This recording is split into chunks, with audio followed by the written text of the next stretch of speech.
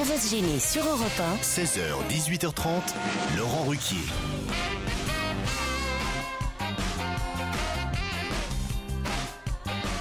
Bonjour, bienvenue sur Europe 1 pendant deux heures et demie. Aujourd'hui, en direct, Claude Sarraute, Caroline Diamant, Elsa Fayer, Stevie Boulet, Pierre Bénichou. Et Titoff. Il y a de la gonzesse aujourd'hui. Hein. Ah oui, oui, pas Enfin, n'importe moi, je suis, laquelle. moi, je suis hein. venu avec la mienne, hein, je suis venu avec Claude. Eh oui, Claude et vous, c'est quasiment un couple, Titi. Ah hein. bah oui.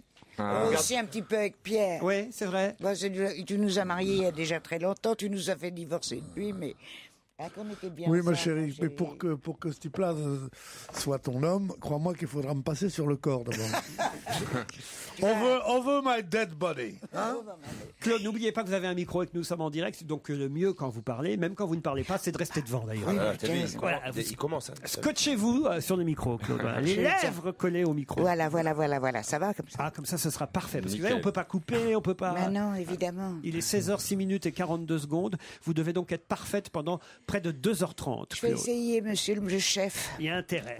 Il est gentil, hein, surtout. D'ailleurs, Léo m'a envoyé un message pour me dire je voulais en fait prendre des infos de notre vieille adorée qui n'est pas venue depuis quelque temps. Vous voyez, hein, il a remarqué votre absence, Bah notre oui. invité. Est-ce que Claude va bien? Si oui, quand revient-elle à votre émission? Sinon, quelle est la date de l'enterrement? Bravo. C'est trop Il est drôle. caustique. C'est trop délicieux. mignon. Elle, est- elle est merveilleuse parce qu'elle dit c'est trop drôle, mais elle ressent ça chaque fois comme une blessure qu'on lui dit des choses comme ça. J'ai- T'en Arrête, rêves même, Tu non veux pas dire ça, j'ai ma place. J'ai pissé sur la tombe de mon mari. Oui, ça vous nous l'avez Oui. raconté déjà, Claude. Alors, à je force suis d'avoir pissé dessus, elle doit être là. Euh, Pardon, pardon. Si vous m'appelez, je peux vous faire au clair de la lune en rotant, euh, dit Monsieur Canard, qui est Ah en- oui, c'est bien, c'est bien. Voilà un mec qu'on aimerait fréquenter. J'irais pisser sur sa tombe, moi. tiens. Bah, c'est parce que c'est quelqu'un qui a entendu un, un de nos auditeurs au challenge hier euh, chanter de l'opéra. Il dit moi je ne chante pas de l'opéra, mais si vous m'appelez, je peux vous faire au clair de la lune en rotant. On va éviter. Hein. C'est pas comme ça qu'on sélectionne nos candidats. On a besoin de qualité dans cette émission, évidemment. Quoique si c'est bien, bien imité, en autant, ça vaut la peine quand même d'essayer. Hein. Clair de la lune en rotant. Ah, Mais oui, comment tu peux faire tes gammes en rotant Euh, euh, euh, Tu vois, comme ça Mais tu, tu sais bien qu'on peut tout faire. En, en- en pétant, on, on- il jouait la, Non, la mais traviata, arrête. le mec. Moi, Mais oui, le pétomane. C'est pas vrai. Moi, je trouve Si, c'est vrai. Je je Bah, T'as pas faire entendu le- parler du pétomane C'est bien, Non, mais c'est bien qu'il c'est c'est pas, il n'était pas avec Vendetta. Mais enfin, quand même, c'est un type que, donc, que tout le monde a connu. Bah oui. Ah, Même grand mélomane. Pierre, on l'a pas connu, On l'a pas connu, c'était dans les années 1900. Ah oui, c'est Caroline Diamant, Caroline Diamant était encore gamine. Si vous voulez, je peux vous faire juste le début. Ah ouais, allez-y.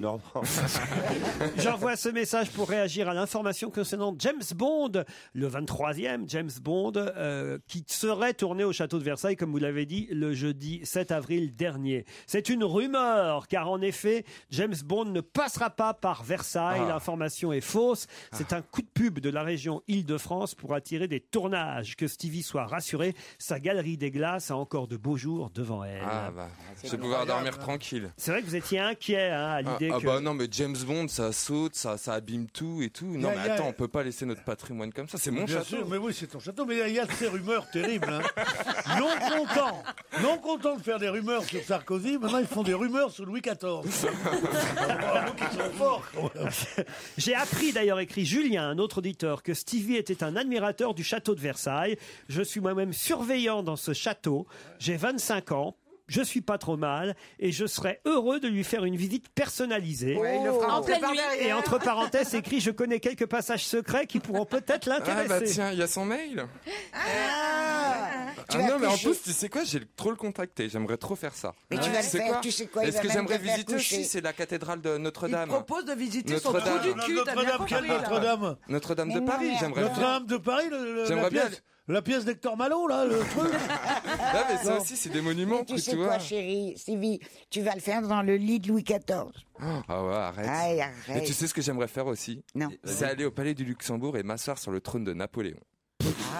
Avec la main Alors sur le ça, cœur. alors Il a ça- déjà la main positionnée. hein. Ah ouais, non mais Ah, ça mais c'est. ça va de mieux en mieux, toi, en fait. Ah non mais Au sais niveau pas- de l'ego. Non mais je qu'est-ce qui parle. m'arrive? Non mais c'est pas au niveau d'ego, Qu'est-ce c'est qui juste m'arrive avoir la sensation que Napoléon était assis sur ce trône et que moi aussi. Bah oui, bah c'est bien ce qu'on Voilà. dit. mais ça n'a rien à voir avec le côté mégalo, c'est juste que c'est des. mais ça n'a rien à voir. Celui qui te dit Eh. ça est un Non, mais Bah, attends, je l'imagine, je suis pas Alain Delon. Moi, je l'imagine tous les matins, surtout quand il se met, il se met sur le trône comme ça avec la main dans la Mais cheville. non, mais c'est une autre histoire, c'est l'histoire de France, c'est plein de choses, c'est passionnant, je sais pas. bah ouais, ouais. Il faudrait dire à Monsieur Bénichou, c'est encore un petit rectificatif par rapport à des bêtises qui ont été dites dans notre émission. Il faudrait dire à Monsieur Bénichou, grand amateur de Saint-Honoré, que s'il a mangé un gâteau qui ressemble avec de la crème chantilly, ce n'était pas un Saint-Honoré, car Il n'y un a pas de Saint-Honoré. Saint-Honoré dans, la- dans le de, pas de crème chantilly dans Non, Saint-Honoré il s'agit de la crème pâtissière. Pas du tout. Chez Non. les vrais pâtissiers, c'est de la crème non, pâtissière. pas du tout. Je suis d'accord avec Monsieur Bénichou. Saint-Honoré, le Saint-Honoré, c'est la chantilly. Je suis d'accord. Pas de crème pâtissière dans le Paris-Brest, Monsieur Bénichou, mais de la crème au beurre. Ça, c'est vrai. Alors voilà, ça aussi c'est un autre rectificatif d'un Oh, pâtissier. vous voulez faire croire que je suis pas boulanger, moi Bah, ma- manifestement, non. hein, C'est la voilà. pâtisserie Bénichou, pourtant elle est, elle est réputée. Encore un autre rectificatif. La pyramide du Louvre ne compterait pas 666 carreaux, comme vous l'avez dit hier, mais ce qui ce qui était. Ça, écrit- c'était dans le Da, euh, Da Vinci. c'est- C'était dans le Louvre pour les nuls. Ah oui, parce que c'est le chiffre du diable. Voilà, Ouais. il y en a 673. Il faut en finir une bonne fois pour toutes avec ces pseudo-légendes urbaines et ces élucubrations satano-paranormales, me dit Marvin. Putain, le mec, il est maniaque, il a les compter de hier, après l'émission, les Non, carreaux. mais c'était dans Da Vinci Code qu'il avait euh, Brown, il avait dit qu'il y en avait 666, c'est de là que tout est parti en fait. Et puis, vous savez, Il y en a sept qui servent à rien. Hein. On Des peut carreaux. enlever quand on... Oui. Vous savez aussi qu'on a des auditeurs qui régulièrement nous envoient des cartes postales de leur séjour Ah. remportés Ah oui, pendant, genre euh, pendant Ah. les la challenges. croisière Ils sont sur tous le contents. Rhin. Alors, ouais, ils sont tous contents Tous. euh, de leur croisière. Non, on n'a jamais eu de carte postale de la croisière sur le Rhin. Et pour cause, ce sera en, Ça, ju- en juillet et en et en août. Donc, on aura évidemment des retours seulement euh, au mois de septembre prochain. Mais en revanche, dans les différents hôtels où on envoie nos auditeurs, ils sont ravis d'envoyer des Oui. cartes Bah postales. oui, ils on sont leur contents. Dicte le texte. Vu les, bateaux- vu les Dès bateaux, qu'ils on- arrivent, tu sais comme en colo. Alors, nous sommes ravis du séjour que nous passons Pas du au tout. Flamand Pas du Rose. tout. Ils sont vraiment. Bah attends, il devrait être content, c'est offert. Puis sur le Rhin, ils vont avoir le temps d'en Et il y a des même photos. les perdants qui nous envoient des photos et qui nous remercient parce que les perdants ont parfois reçu des chocolats Jeff de Bruges. Ah, c'est mignon. Les voilà. et regardez, Les euh, petites cocottes en voilà. chocolat. hein, et on Mais en- C'est un chat qui a joué à l'émission Enfin, ils Ah, envoient des, des photos de, de l'eau de consolation. Ah, Regarde, il avait c'est- raison, il avait raison, le, euh, ce pauvre Albert Cohen. Oh, vous, frères humains, vraiment. Vous envoyez des trucs, vous êtes Bah des oui, c'est humains, mignon. vous êtes des gens C'est comme moi, gentil. quoi. Avec un cœur, un, un- un cerveau, Bah des non, larmes, eux, ils des ont un rires. cœur. Et vous prenez le temps de faire une photographie pour, en- pour envoyer à un comique de quatrième ordre qui imite Bourville. regardez, comme, regardez comme vous êtes gentil. Vous nous avez, oh, vous nous avez comblé avec chocolat. Vous savez ce qu'il vous dit, comique de quatrième C'est pas ordre de toi qu'il s'agissait. Vous savez- C'était le chef de Bruges. Vous savez ce qu'il dit aux journalistes, euh, soi-disant, euh, du Nouvel Ops Euh, Vous savez ce qu'il dit, le comique de quatrième On ordre va te faire bourrer. Ouais, voilà.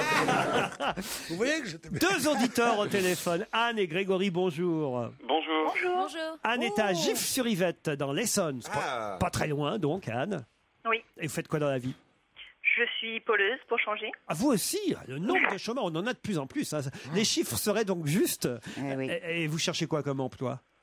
Euh, je suis, je cherche dans les ressources humaines. Dans je suis les- jeune diplômée. Diplômé des Ah, ressources humaines. Eh ben, J'espère que vous en aurez des ressources pour trouver un emploi. Et qui sait, quelqu'un qui aurait besoin de vous, pouvez nous contacter, pourrait nous contacter ici sur Vous, Europe 1. vous pouvez quand même prendre la, essayer de prendre la place d'Yvette parce qu'il paraît que Gif a beaucoup d'argent. Oh, oh, oh. On la coupera au direct, ça là. Ah, mais t'as de te moquer de Laurent il y a deux minutes. hein. Ah ben, non mais moi, tu sais comment on m'appelle moi Diapason. Grégory est à Caen. Bonjour Grégory. Bonjour Laurent. Alors faites quoi vous à Caen? Eh bien, je travaille dans une entreprise de tourisme où je m'occupe du service transport de cette société. Service transport euh, du, du- bah, pour touristes. hein. Et vous, Tout à travaillez, et vous travaillez depuis quand? Oh non, non, Non, écoutez, je suis solitaire avec Pierre Bénichou. à moi. chaque fois, pas Solidaire. solidaire, Solidaire, solidaire. oh là Je suis là là là là. solitaire. Non, mais j'ai une Je- équipe, je vois que ça vole. j'ai une équipe, Pourquoi on de, n'enregistre pas aujourd'hui? j'ai une équipe de bras cassés aujourd'hui.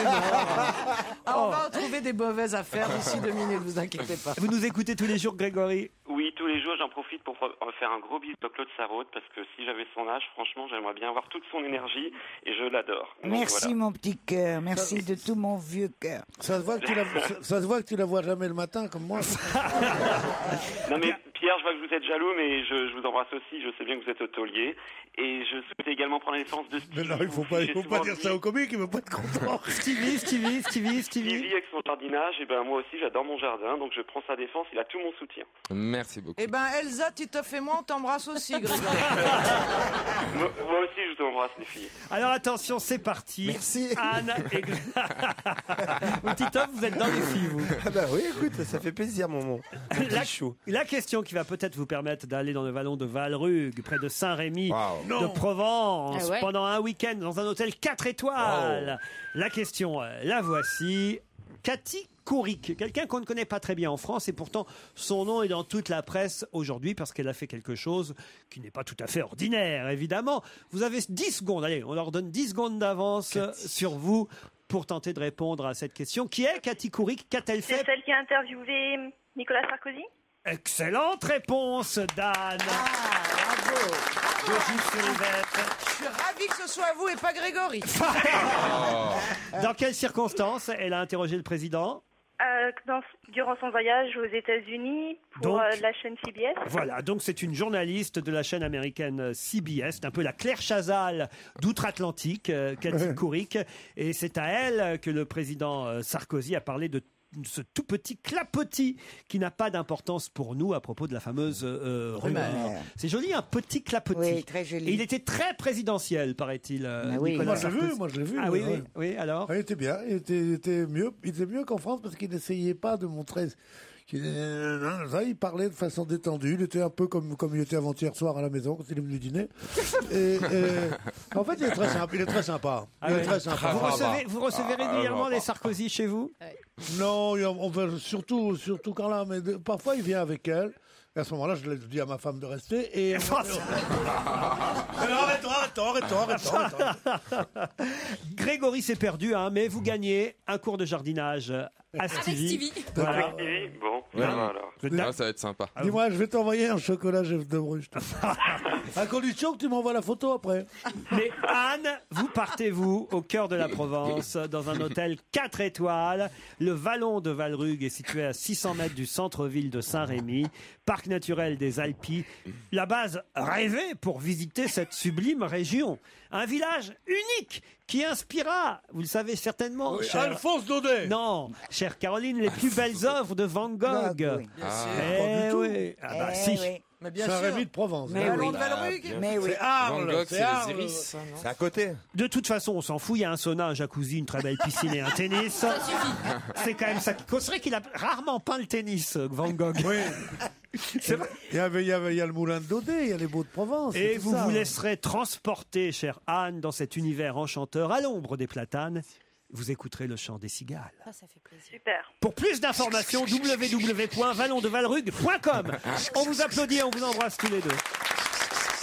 On va se gêner sur Europe Mots doux. Petite phrase assassine.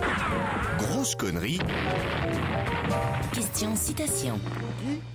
J'adorerais, mais par rapport à mon histoire, c'est quand même un peu difficile de venir. Qui a dit cette phrase, qui l'a prononcée Je la répète, j'adorerais, mais par rapport à mon histoire, c'est un peu difficile de venir. Ah bah, je pense que c'est le président polonais quand on l'a invité à Katyn. Parce que par rapport à l'histoire de Katyn où tous les officiers polonais avaient été tués, son premier réflexe a été de refuser. Il a accepté, mal lui en a pris. Ah, Puisque peut-être, son mais avion alors est il a- tombé. d'abord il aurait dit cette pas le phrase en savoir. polonais, mais Oui, c'est- en polonais, en polonais, c'est. Chat. Vous savez d'ailleurs que euh, on apprend aujourd'hui dans la presse que euh, un, un aiguilleur euh, qui travaillait à l'aéroport là-bas en Russie, Russie puisque c'est en Russie que l'avion devait se poser, explique que l'accident pourrait surtout venir du fait que euh, le pilote polonais ne parlait pas russe, il ne parlait pas bien anglais non plus, et que donc euh, Il là-bas dans la, compris les dans- dans la informations. tour de contrôle, il n'arrivait pas à, à se transmettre les données et les chiffres de Il l'attitude. n'y a pas un langage international, Faut genre croire que Mayday, non. Mayday? Mais en tout cas, cette question, cette question n'a rien à voir, rien à voir avec la Pologne et le crash euh, du Tupolev. C'est un politique français? C'est alors c'est quelqu'un de français, c'est quelqu'un qui a fait de la politique, c'est vrai. Oh, Bernard Tapie. C'est Bernard Tapie, mais à quel propos alors? J'adorerais, mais par rapport à mon histoire, c'est un peu difficile de C'est de venir. prendre les rênes d'un club de football. Oui, mais Nice. De prendre les Ah, ouais, PSG, évidemment, du de PSG. reprendre- De Lyon. de reprendre le PSG. Du Paris Saint-Germain, Ouais. bonne réponse collective. Quand on dit c'est quelqu'un qui a fait de la politique, pourquoi est-ce qu'on pense toujours à ce mec Ben, parce que c'est Tapi, mais en tout cas, il a fait du football aussi. Et c'est vrai que dans France Foot, aujourd'hui, euh, Tapi, ex-président de l'Olympique de Marseille, faut-il le rappeler, dit qu'il aimerait bien reprendre le PSG, mais qu'évidemment, c'est pas facile de reprendre le PSG quand on a été responsable de l'OM. Oh, Il y a bien des joueurs qui ont fait les deux clubs, alors pourquoi Oui, pas un mais quand même, Ouais, un non, PDG, là. euh, Ah oui. il, a, il, a, il a tellement montré que justement le- la force vive du football était à Marseille et il a tellement raillé le PDG, le PDG. Le club, il, il avait tellement de pression. Le, cette- le- le PSG que euh, peut-être il veut pas. Et Marseille qui joue un match en retard hein, ce soir. Alors, Ce soir, on va, on va, Euh, on va, on s'envoler ce soir. Ah veux oui dire, ce soir, on va, bon, on va leur mettre 4 points dans la gueule. Ah, ça y est, Aux tu es à nouveau- autres, là. tu es à nouveau pour l'OM, ça y est? Comment je suis à nouveau Bah, pour je l'OM sais pas, tu changes Même, toutes même, semaines, même quand tu tu changes. es en bas du tableau. Elle peut te dire, ma mère, pas vrai Hein oui, oui, mon cœur. Ah là là là là, il est fan de chez fan. Chaque fois qu'il voit l'OM, il, il, il bondit de son fauteuil. Allez-y, les gars, allez-y, les gars. Oh là là Votre vie est Ils sont trop mignons. tu lui apportes les bières ou pas Ah non. Mais non, on ne boit plus de bière Et maintenant. toi, tu te grattes les couilles dans ton. Donc, donc, Claude, pas de sexe ce soir-là alors. Mais, mais comment Rien. arrives-tu à être, à être si Mais vulgaire rien. Qu'est-ce Rien, il y en a que pour les footballeurs. Ah oui. Évidemment, ils ont des cuisses plus belles que les miennes. hein. C'est pas vrai, c'est pas Et vrai. faites quoi pendant qu'il regarde le match, Pierre alors Je le regarde lui. Ah oui. Ah bah dis donc, je m'en repais. Trop mignon. Ah oui. Il est Ah beau, oui. il est beau quand il regarde le foot. Il est beau de toutes les manières. Tu le regardes de dos, de profil, de face, d'en haut, d'en bas.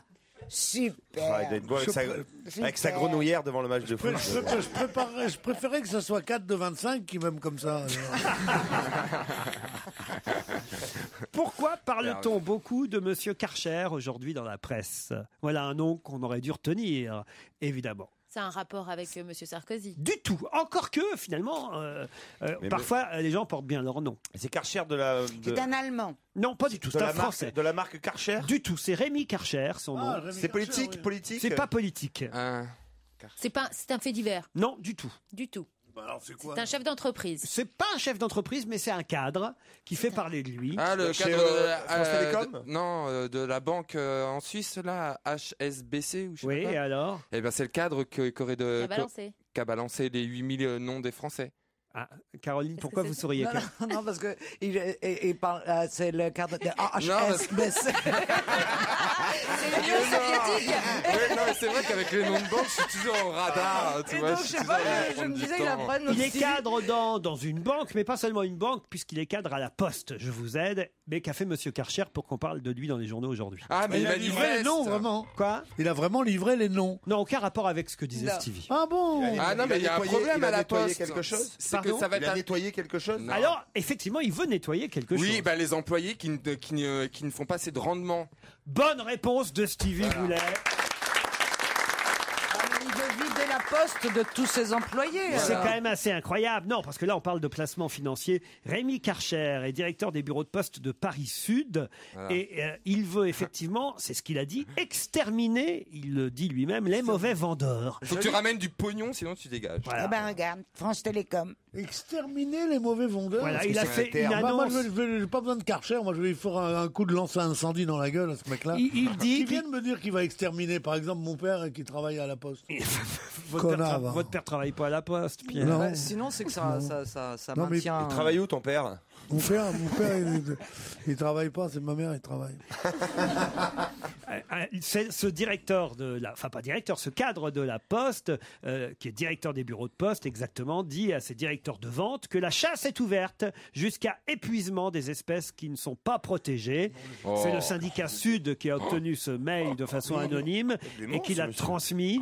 Il aurait donc euh, exactement euh, dit que les conseillers spécialisés en patrimoine, les conseillers clientèle, les conseillers financiers et les gestionnaires de clientèle qui sont à zéro, c'est-à-dire qu'ils ont, euh, qui n'ont réussi à convaincre zéro client de prendre, euh, voilà, Un compte chez eux. ah, voilà, pas un compte, ça, ils ont Ah déjà oui. un compte, mais un petit placement, un petit, euh, voilà, c'est- on essaie de Un changer. petit four, un petit four, une petite bière. pas de blé, quoi. Non, non, mais qu'est-ce que c'est que ce... il, il rêve d'avoir les mêmes problèmes que- qu'à France Télécom? Bah c'est Ben ça. voilà. Qu'est-ce que c'est que ce mec qui veut des suicides? Mais non, mais Il veut bon. que mon père se suicide? Attention, Ah il faut se méfier, ce sont les syndicats. hein. Peut-être qu'ils en veulent à Monsieur Karcher parce qu'il s'appelle Karcher aussi. hein.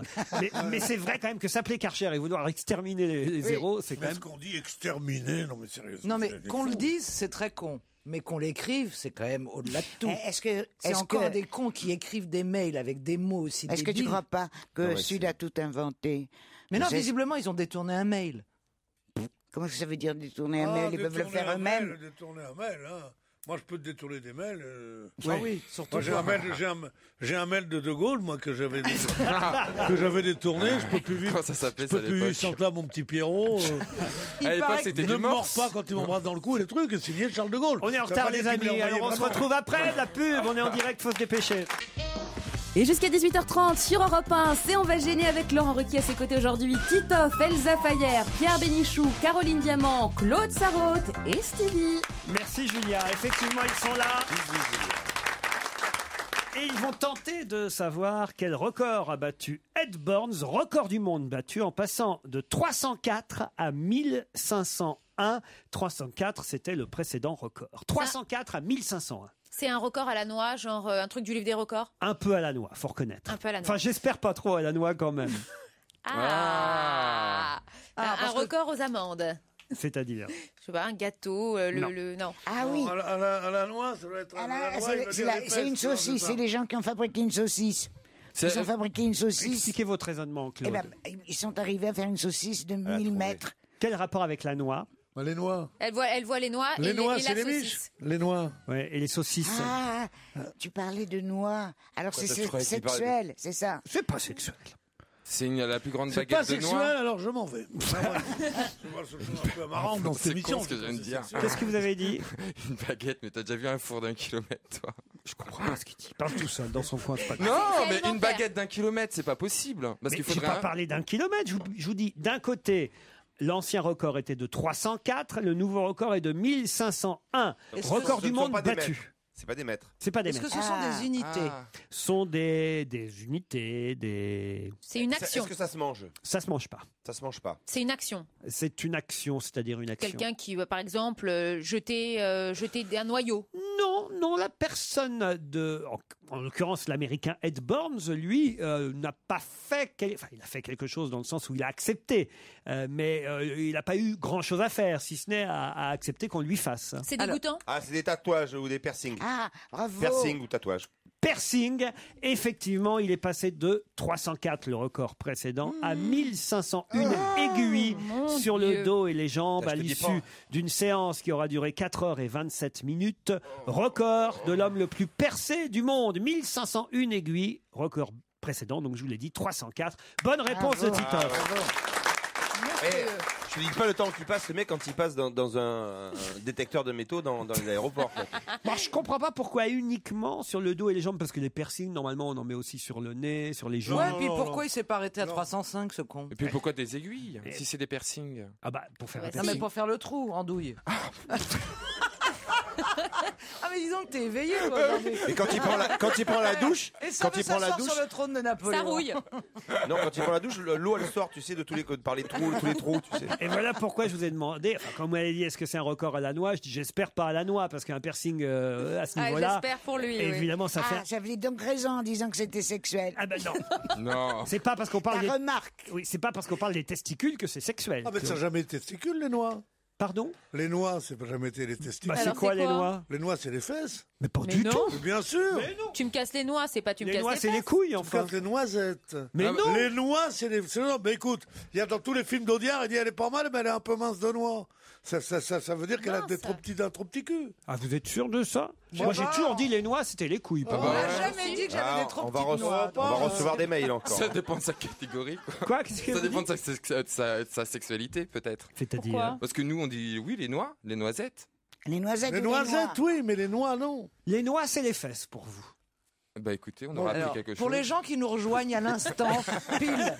Je veux bien faire un petit pari si t'as. Bah, on va faire un petit pari, on va prendre Chez un, Audiard, en tout un cas. dictionnaire d'argot et on va voir ce que, ce que signifient les noix. Mais moi, depuis ma j- plus jeune enfance, euh, casse-noix, ça veut dire euh, Oui. euh, voilà, ca- Enfin, les, les noix, ça, ça fait casse-couille des quoi, petits hein, culs, Pierre. Ça quand veut, même. ça veut pas dire casse-cul. Moi, ouais. c'est vrai que j'ai plus entendu noisette. Casse-noisette, c'est Casse-noisette, casse-couille. Oui, parce que vous aimez Moi, j'ai l'opéra. Moi j'ai plus, La danse. moi j'ai plus entendu Et la couille. danse. J'ai plus entendu couille, moi, tu vois, mais bon. Moi aussi. Marseille. Ah oui. Bon, on va peut-être pas faire une heure sur les Oui. noix. et Ouais, les voilà. noisettes. Non. Ah, Non, non, mais c'était un record qui. On va qui- peut-être passer à une question suivante qui nous emmène rue de Rivoli, au 59 rue de Rivoli. Ah, je connais. Ah, c'est de l'hôtel Meurice Non, non, non, pas Non du tout. Non, ça- non, c'est au, c'est au 198 ou au 200, l'hôtel Meurice. Vous êtes bien renseigné. Vous le laisseriez poser sa question ou pas? Ce serait gentil, merci Non, parce Caroline. que le le 59, c'est plutôt, c'est euh, presque à la rue Saint-Antoine, c'est au tout début. tu vois, tu vois, quand je veux dire, c'est plutôt hôtel Deauville, tu vois. Ouais, je Hein vois, je vois, Bon, ouais. alors, Eh c'est ben, pas, c'est pas chez Lissac? Il y a un drapeau tricolore au 59 rue de Rivoli, un drapeau tricolore de 6 mètres sur 4 qui a été accroché à la façade du 59 rue de Rivoli, ou même pour être plus français, sur la façade de la rue de Rivoli au 59. Mais quelle est la particularité de ce drapeau tricolore? Bah, il est énorme, tu viens de le dire. Oui. en dehors Pourquoi vous invitez que des cons, mais le même jour? Il est, il est- il est tricolore, ce qui ne veut pas dire qu'il soit. Il est C'est tricolore, Il est italien. ça ne veut pas dire qu'il soit bleu, blanc, rouge. Non, non, il Non, est, c'est peut-être le il est drapeau bleu, blanc, polonais. rouge. Il est bleu, blanc, rouge. Ah, il est bleu, blanc, rouge. Un drapeau français, tricolore, bleu, blanc, rouge, de 6 mètres sur 4. Là, vous avez euh, voilà, toutes les données. Ouais. Il en manque une. Quelle est son autre Ah bah, particularité les, les bandes sont pas dans le bon sens. Au lieu d'être horizontales, Non, elles sont non, verticales. Non, non, non. Non, mais il y a des photos, il y a des têtes, il y a Non, des visages. dessus. Non, non. a Ouais, pas- verticales, horizontales. Euh, Non. c'est- pas un drapeau. Qu'est-ce qu'il y a, Stevie? Non, parce que je cherchais le drapeau français à l'envers. Donc ça serait, je crois que c'est. la- Hollandais. Je crois que c'est. Non, c'est pas hollandais. Je crois que c'est Russie, les couleurs. Non, Non, ben non, la Russie, c'est. Occupe-toi de tes noirs. Oui, oui, oui.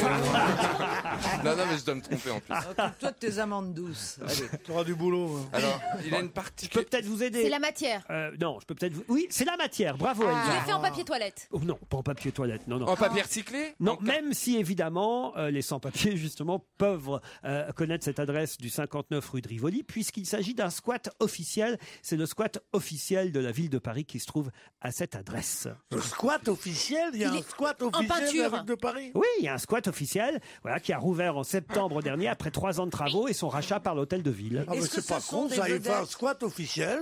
Et il a, il a, il a, il a, il a- il y a un squat officiel. Mais il Il, met a- pas il, l'électricité. empêche les gens de rouler sur les quais de la Seine. Il me parle, le boulevard officiel. Bah, bah, Alors, bah, ils auront mis des tonneaux, ils auront mis des tonneaux pour qu'ils puissent faire des Bah, feux à l'intérieur. Qu'est-ce que c'est ça Qu'est-ce que C'est c'est le squat ça officiel, voilà. Qu'est-ce que c'est Vous vous souvenez quand on travaillait, on allait faire nos émissions de télévision tu sais l'émission où tu m'aidais là, comment ça s'appelait euh, On a tout essayé. Ouais, là, oui. ouais. Eh ben, on, on était, on était, je, je dis à mon cher public qui est là, avec qui ont, qui ont les noix sur leur chaise, je dis, euh, on allait là au, au- ça s'appelait au Moulin Rouge. Et le Moulin Rouge, faut pas le boulevard de Clichy. Alors, le boulevard de Clichy, c'était un, un boulevard normal, on roulait normalement. Il a mis de l'anneau. Et il a mis, il a mis un, un, un, un tremplin, comment, un terre-plein d'à peu près 18 mètres sur le jaune, avec, avec des, fleurs et des bancs. Il n'y a jamais eu un Pékin qui s'est promené là. Tu vas te promener boulevard de Clichy avec les gosses, bon, pas possible. Non, non, non, on veut ça. Et comme ça, toi, t'es là, tu klaxonnes et tout. Et lui, il est content. Il s'en fout, lui. Il a- va pas. eh, eh, eh, il voyage qu'en jet privé, il a un hélicoptère. Mais n'importe quoi. La rumeur. Mais il, il, Il il a a un approché de faire les quais, les quais piétons aussi. Mais oui, je suis Les ravi. quais piétons. Ah, t'es ravi de faire les quais piétons, toi. Oui. Ah oui, oui, oui. Ah bah, c'est la seule. ça, je pourrais m'y promener. Non, que je peux que le dimanche. Les berges piétonnes, c'est effectivement un projet euh, dont on a parlé Ça dépend lesquels, parce que la voie Pompidou, c'est quand même, c'est quand même le poumon de Paris. Bon, écoutez, c'est pas le sujet de toute façon. Oui, Là, non, mais On puisque sur ça la intéresse du nos drapeau. amis, Vous voulez que je vous il y, a- il y a beaucoup de Ah, les bah, gens toile qui ne sont d'avion. pas parisiens, levez le doigt ici. Écoutez, peu importe, Pierre, on on n'est pas, on Ah fait bah, ils peuvent pas, ils peuvent pas aimer ce que je dis parce qu'ils sont pas parisiens. Dis-la, dis-la. C'est de la toile d'avion. de quoi? Le drapeau est fait en toile d'avion. Du tout. Du ça. En humain. Pardon? C'est des humains. Comment ça en Ils se sont scotchés. Ils sont... Tous les squatteurs. Donnez pas l'idée à un artiste parce que ça pourrait venir. Est-ce que ce sont des, des vedettes? Mais quelque part, ça a quelque chose d'humain. Ah, c'est vrai. Hannibal Lecter qui. Ah, il y a un visage dessus? Non, C'est de la peau? Non. pas de la peau. Oh, des cheveux, quelle horreur. C'est fait en cheveux. Oh. Bonne réponse de Caroline Diamant. Comment on les peut encore qui faire des choses comme ça Eh oui, oui, oui. Après, Euh, après, pardon, après, mais- après, après ce qu'on a vu En pendant... cheveux synthétiques. Oui, Mais après Laurent- ce qu'on a vu Laurent- pendant la guerre, faire des trucs en cheveux, toutes les Cheveux gardiennes- synthétiques, Pierre. Excuse-moi, Oui, mais d'accord, mais retouche- enfin, toutes les gardiennes de camp faisaient des trucs en cheveux et on refait des trucs en cheveux pour faire bleu, blanc, rouge. Si on a une bleu, retouche. blanc, rouge, c'est quoi? Vichy, milice et, et quoi? Et Staline? Salopard. Titoff. Tu as fini, Pierre? Non, mais je te Non, préviendrai, je te préviendrai, parce que je. Alors, pour qu'est-ce que vous vouliez dire? Rien, rien. Oh non. T'es vexé? Ah, non, non, non, mais c'était un. Ah, fais j'allais pas faire ton un bon mot, donc après. il y a Mais plus- Ah, mais non, fais pas ton étroite, vas-y, parle. Non, c'est bizarre en cheveux. Pourquoi C'est en synthétique, donc. Oui, en cheveux synthétiques. Non, je, non, non, juste, je voulais dire, s'il y avait une retouche de blanc à faire, on a Claude Sarraute. Ben voilà. Merci, mon gentil. Ben, pour le blanc, on peut prendre Claude Sarraute. Pour le bleu, pour le rouge, euh, bah, euh, c'est plus difficile à trouver, hein, les cheveux bleus. Ouais. À part. euh, non, bon, on va pas Il citer y a le la nom. Schtroumpfette. Ah bah non, elle a les cheveux. cheveux blonds. Ah, c'est con, c'est pas les, les cheveux, cheveux, c'est la- le seul truc qu'elle a pas de bleu, la trompette. Ah, ah Vous oubliez le pubis Oh. Elle a des cheveux Ah mon remarquables. dieu, mais quelle horreur. Elle a des cheveux jolis qui, qui se regarde-moi ça, cette qualité de cheveux et cette façon dont elle prend la coiffure. Vous parlez Parce de qu'il y qui, a là De qui Claude. prennent la coiffure. De la Schtroumpfette parles de moi, sa vieille Je parle de. Claude. Ah bah oui, mais on le sait pas pour les auditeurs, vous voyez. On parlait de la Schtroumpfette. Ouais, mais ils m'ont bien vu que, que je lui touchais les cheveux quand je disais ça. On n'est pas filmé C'est surréaliste J'ai j'ai un boulot aujourd'hui, mais je vous dis pas. Ah Il faut là que je sois sur tous les coups. Hein. Euh, euh, euh, T'as alors, du en tout- boulot quand je suis pas là et t'as plus de boulot quand je suis là, je comprends pas. Ouais, je me demande si je préférais pas la première solution. Ah, Et paf, on va lui foutre la truc pour le reste de la saison. Il s'en fout. Qu'est-ce qu'il y a? Il s'en fout. Regardez-le. regardez-le. Moi je m'en fous, moi on m'insulte, on m'insulte. Qu'est-ce qui se passe, Pierre? Pourquoi vous, vous réajustez vos manches? Je sais pas, j'essaye de faire une. C'est un- je lance une mode maintenant, la manche mi-courte. Bon, je vous explique mes histoires de cheveux là, si vous voulez. Oui. Alors c'est symbolique C'est un- une peintre qui s'appelle Marie Valentine qui a travaillé sur cette installation depuis plusieurs années. Son œuvre en cheveux synthétiques euh, signifie qu'il peut y avoir des cheveux de noir, des cheveux de blanc tressés ensemble. L'idée est de montrer qu'on peut être français quelle que soit notre couleur ou notre texture de cheveux. Avec des faux cheveux. Voilà l'idée. Le drapeau restera en place jusqu'à dimanche prochain. Il répond à une exposition sur la diversité présentée dans le squat officiel de la ville de Paris. Voilà un drapeau tricolore en cheveux pour dire que tous les cheveux Non mais je, peuvent vous- se mélanger dans le meilleur je des voudrais mondes. vous poser une question ingénue, vraiment ça qui n'est pas polémique. Un squat, c'est un endroit qui est inoccupé où vont des gens qui n'ont pas les moyens d'aller ailleurs et qu'ils occupent. Oui. Bon, comment est-ce qu'on peut avoir un squat officiel C'est pas faux. Ah oui, non, Ça, carrément. Un squat officiel, c'est que tu sais, un, un vol permis, un squat officiel, un viol consentant. Je veux dire, c'est- C'est un, c'est un oxymore complet. Eh ben un squat officiel. Eh bien, Paris l'a fait, monsieur. C'est curieux. Ce fait Paris, Paris peut le faire. Jusqu'à 18h30 sur Europe 1, c'est On va gêner, on retrouve Laurent Ruquier et ses complices en direct et en public. Monsieur Pierre Bénichou, je suis obligé de reconnaître que vous aviez raison pour les noix. Oh. En tout cas, les noix ne sont pas synonymes de fesses, mais l'expression rouler des noix veut bien dire rouler des fesses. Voilà, ça, ça Bien sûr, existe. ouais, ouais. Et en revanche, en, en cherchant euh, les synonymes de testicules euh, en- dans le dictionnaire euh, argot, effectivement, à aucun moment je trouve euh, Noix. noix, je trouve euh, coucougnette, euh, bonbon, noisette, roupette, rouston, roubignol, Oh, gosse, schnoll, pompon du cigare à moustache. Sympa ça, le pompon du cigare. Le pompon du cigare à moustache, boulette, bulbe de puissance, réservoir, bijoux de famille, glaoui, joyeuse, valseuse, olive, prune. Mais hélas, pas de noix, je dois reconnaître. Oui, je suis navré pour vous, mais moi je le savais. Euh, vous savez, euh, on dit en fait quelqu'un qui comment qui roule des noix, c'est quelque, c'est une femme qui roule des noix, c'est c'est une femme qui croupionne quoi. Hein c'est joli comme expression. Regarde là qui croupionne quand tu vois une fille qui, qui ondule un peu trop. Ah là là là là. J'avais, j'avais des noix superbes moi quand j'étais jeune. Ah oui. Oh là là là. C'est bien rare pour un garçon. Ah oui, j'avais, Ah bah non, ils tu n'en ont vieillis, pas. plus c'est beau, non? J'avais des noix, moi tu peux pas savoir. mais arrête, chérie, je les me les garçons n'ont moulais de moi, fesses. disons dans des petits pantalons. Ah des petits pantalons. Ah Au ouais, pire, non, on va peut-être pas faire la, la soirée sur vos fesses. hein, si- on va s'occuper des nôtres aussi. Et puis, je voudrais un peu monter le niveau, si vous le voulez bien, pour aller dans un Parlons des musée. nichons. On va vous aider. Dans un musée où expose Monsieur Antoine Schneck, que nous aurons au téléphone dans un instant. Et il faut savoir qu'un Monsieur Schneck, seul.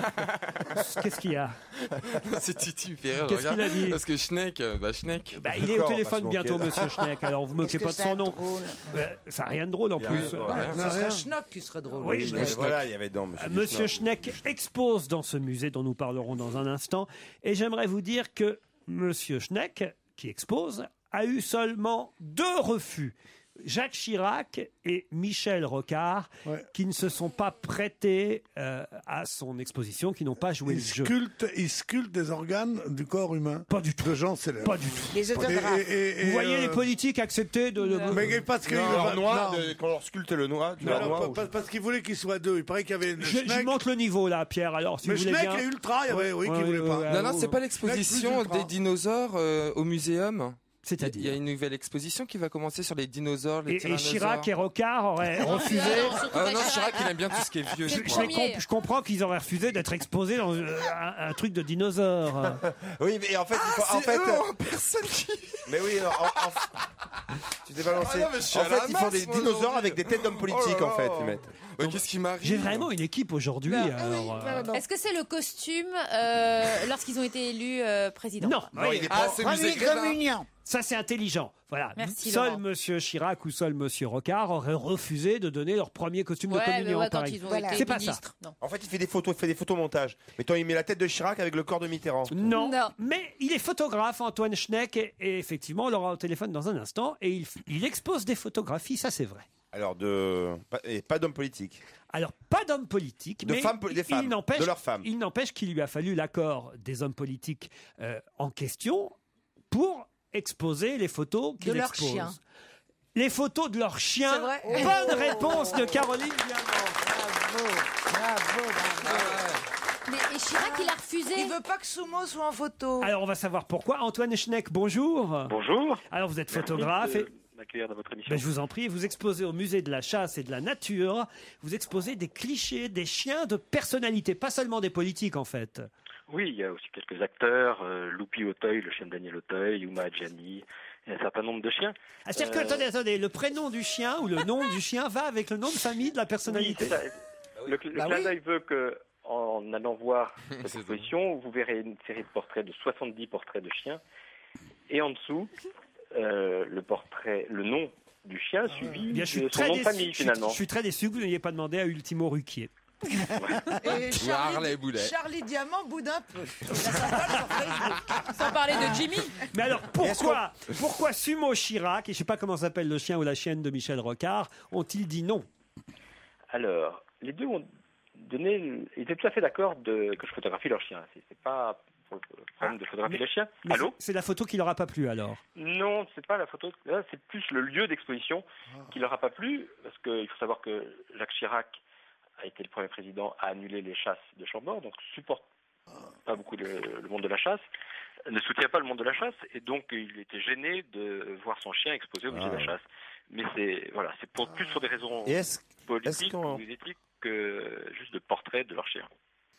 est-ce qu'on peut venir avec euh, son propre chien voir l'expo Absolument. Je vais vous dire un truc Ah oui. très drôle. Hier, je suis allé dans un grand magasin acheter six écuelles de chiens. Pour, il y a le vernissage ce soir pour que les chiens qui viendront au vernissage puissent euh, voir l'exposition. Il y a des croquettes aussi en soient apéritif bien reçus. Il n'y a pas normal qu'il y ait c'est normal qu'il n'y ait pas que les maîtres qui aient le droit à un Ah, voilà. Là, je vois, je vois en photo. Je vois en photo dans le journal 20 minutes qui parle de votre exposition Alphonse Mitterrand. Alors qui est Alphonse Mitterrand? Le chien. Si on connaît bien Alphonse dans le Monsieur. Mitterrand Le chien, Frédéric Mitterrand. le chien de Frédéric ou de François Mitterrand Frédéric. de Frédéric Mitterrand. Le chien de Frédéric Mitterrand s'appelle Alphonse. Ah ouais, mais moi je le connais Absolument. bien parce que c'est un, c'est un excellent ami de Médor Bénichou. Est-ce que, est-ce que les chiens ressemblent souvent à leur maître alors? Alors, je sais On pas. connaît euh, les questions cons. non, ça- non, c'est- c'est une très bonne question. Mais oui. Je pense que tous les maîtres ne, non, ont les chiens qu'ils méritent ou, les, ch- ou choisissent leur, leur chien ou que les chiens choisissent leur maître et que ces, ces couples-là se font pas au hasard. Euh, quant à la ressemblance physique, je ne suis pas sûr. Le mien est beau comme un dieu. hein. j'ai eu quand même euh, une histoire avec un chien Delon. qui, m- que j'ai photographié. Euh, le maître n'était pas là au moment de la prise de vue. Et quelques jours après, je lui apporte les clichés. Il me dit Ah, vos photos sont vraiment très bien, mais j'ai un problème, je ne reconnais pas mon chien. Ah. J'étais vraiment euh, embêté. Je dis bon, ben, on va essayer de refaire un editing, c'est-à-dire retrouver parmi les photos que j'ai prises une photo qui, vous plairait plus. Et finalement, en venant, en ramenant les tirages, en montrant, en rencontrant pour une première, fois- la première fois le maître, j'ai compris ce qui s'était passé. Le maître ne s'était pas retrouvé dans le portrait son chien. Ah, il voulait que son chien Et, et- et- et ce maître, c'était Daniel Auteuil. Ah, Daniel Auteuil. Voilà. Et, et Comment s'appelle Pour son moi, chien le, le portrait du chien de Daniel, Daniel Auteuil, s'appelle Loupi. Loupi. Est vraiment le chien de son maître. Enfin, Vous connaissez, vous connaissez Loupi, Titoff? Oui, oui, c'est un très beau berger allemand. Absolument. Le- ce chien-là ressemble à Auteuil, qu'on a vu dans quelques films avec un peu de barbe. Euh, Le chien ou le, Daniel Ah. J'arrive plus à suivre. Bon, Oui, bah, oui. J'espère en tout cas que la prochaine fois vous exposerez Harley Boulet, euh, le chien de, de, de Stevie. Il y a, il y a qui Donnez-nous des noms parce que c'est amusant toujours et puis on terminera là-dessus. Loupi Auteuil, Uma Adjani, Ah euh, Diego Dogno de Vabre. Diego Dieu de Vabre? Oh là là, c'est énorme ça. Notre ancien ministre. Ouais, Ah qui- oui, non, mais on sait qui. Qui d'autre? J'ai j'ai un Bioli Giscard d'Estaing et Typhon Giscard d'Estaing, Oui. qui sont deux superbes labradors noirs, des chiens de chasse, qui vraiment... Et encore et encore d'autres, ça nous Vous amuse. n'avez pas des petits chiens d'actrice? Style. Les euh, petits Non, les- les- ça ne vient pas... venez voir l'exposition plutôt. D'accord, bien sûr, on va venir. Par contre, est-ce qu'on peut vous. euh, vous avez une voix très, euh, très calme. Hein? Est-ce que, par exemple, quand euh, l'après-midi, j'arrive pas à faire la sieste, je peux vous appeler vous, pour, vous me parler un quart d'heure? Antoine Schneck, photographe qui expose au musée de la chasse et de la nature des clichés, les chiens de personnalité. Vous pouvez y aller, c'est au 62 rue des Archives, Paris 3e. Merci. Un peu de musique avec Cathy Mellois, The Flood. Laurent Ruquier sur Europe On va se gêner. C'est la deuxième heure, toujours avec Claude Sarraute, Elsa Fayer, Caroline Diamant, Stevie Boulet, Titoff et Pierre Bénichou. Et puisque nous sommes en direct, la preuve, il est 17h 5 minutes et 48 secondes. Je tiens à donner quelques mails qui sont arrivés pendant l'émission, puisque Non. depuis 16h, vous avez déjà dit évidemment de nombreuses bêtises. Oh merde. Bonjour Laurent ainsi qu'à toute l'équipe. Je suis d'abord ravi de retrouver la vieille dame indigne que j'adore. Caroline Et j'es- Diamant Il s'agit de Claude sur moi et j'espère bien devenir comme elle. Je vous embrasse tous, ne changez rien car vous êtes comme un puzzle. Toutes les pièces sont nécessaires. Oh, que c'est mignon. Ah, Merci, mon Ça c'est bien, hein, mais C'est enfin, entièrement faux. je me demande qui s'emboîte dans qui aussi, c'est le truc. Ah bah moi, j'emboîte plus personne. Non, mais ça suffit de dire n'importe quoi sur les Saint-Honoré. En fait, dit Christophe, euh, qui est boulanger-pâtissier, les Saint-Honoré sont garnis de crème Chibouste, du nom du pâtissier employé dans la fameuse boulangerie de la rue Saint-Honoré. Ah ouais, ouais. C'est en fait une crème pâtissière collée à la gélatine que l'on mélange à de la meringue italienne blanc d'œuf plus sirop de sucre pour donner une crème bien plus légère que la pâtissière. Mais c'est ça la recette de base et bon nombre de pâtissiers feignants la remplacent Ah ouais. effectivement par de la crème pâtissière simple ou même pire, De la de la chantilly. Ah ce qui n'a pour le coup rien à voir Ouais, avec la recette ouais, ouais. Bah originale. oui, tu penses, moi, c'est c'est des- des- évidemment, moi, des, des- des pâtissiers de merde, moi. C'est le nôtre, c'est Chibou, c'est- c'est c'est Ragnaud, tout ça. Ah, mais c'est des Chibou, copies. vous savez où c'était Chibou, c'était juste à côté du café de la Régence. C'était où le café de la Régence? C'est à côté de rue. Il connaît pas. Tiens, À c'est côté drôle. Si même Claude Sarraute le place connaît pas. Enfin, Claude est de retour, m'écrit Cécile. Elle m'a beaucoup manqué. Sans elle, ce n'est pas pareil. Gros bisous de la part de Cécile. Non, mais je t'embrasse aussi. Je suis boulanger-pâtissier dans la Sarthe, dit Guillaume. Je confirme qu'un Saint-Honoré peut se faire avec de la chantilly. Quand même. Mais il décore, il, il est décore avec la chantilly. Non, Il- non, non, mais non. bien, il dé- il- bien, bien sûr, il dé- T'as ils en les mettent choux un- dessus. Vous voulez que je vous dise, c'est bon de toutes les manières et ça finit au même endroit. Non. Non, mais je veux dire sur les gens. C'est Ah, élégant. mais non, de ses fesses. mais non, Alors Oui. autant, autant ils foutent de la merde directement, alors tant qu'on y mais est. non, je voulais dire ça finit sur les hanches. Ouais, oh. bien sûr, Parce avec que les vous avez blagues, l'esprit ça. mal placé. C'est Coluche qui disait qu'il y avait une formule formidable dans un restaurant. Il avait dit, il l'avait inventé ce jour-là. Il avait dit, avec ce qu'on bouffe ici, pas étonnant qu'on chie de la merde. Au téléphone, Nadjet de Lyon et Cyril de Viray. Bonjour Nadjet. Bonjour. Vous ne l'appelez pas Bonjour à Nadjet, tous. mais Bonjour. Nadjet. Bonjour, bonjour. C'est, c'est- d'où vient votre prénom, Nadjet? Je suis d'origine algérienne. D'origine algérienne. Ça, Nadjet, ça- Nadjet. ça veut dire quoi, Nadjet Euh, je sais plus. Bah, et Laurent, ça veut dire quoi C'est un diminutif. Oh, je sais plus, je l'ai su et j'ai oublié. Ah, Souvent, les, les prénoms d'origine étrangère ont une signification. Euh, Alors voilà. Mais vous avez raison, oui. Et ça se prononce comment? Parce que Pierre est en train de me faire les gros yeux, il paraît que je prononce mal.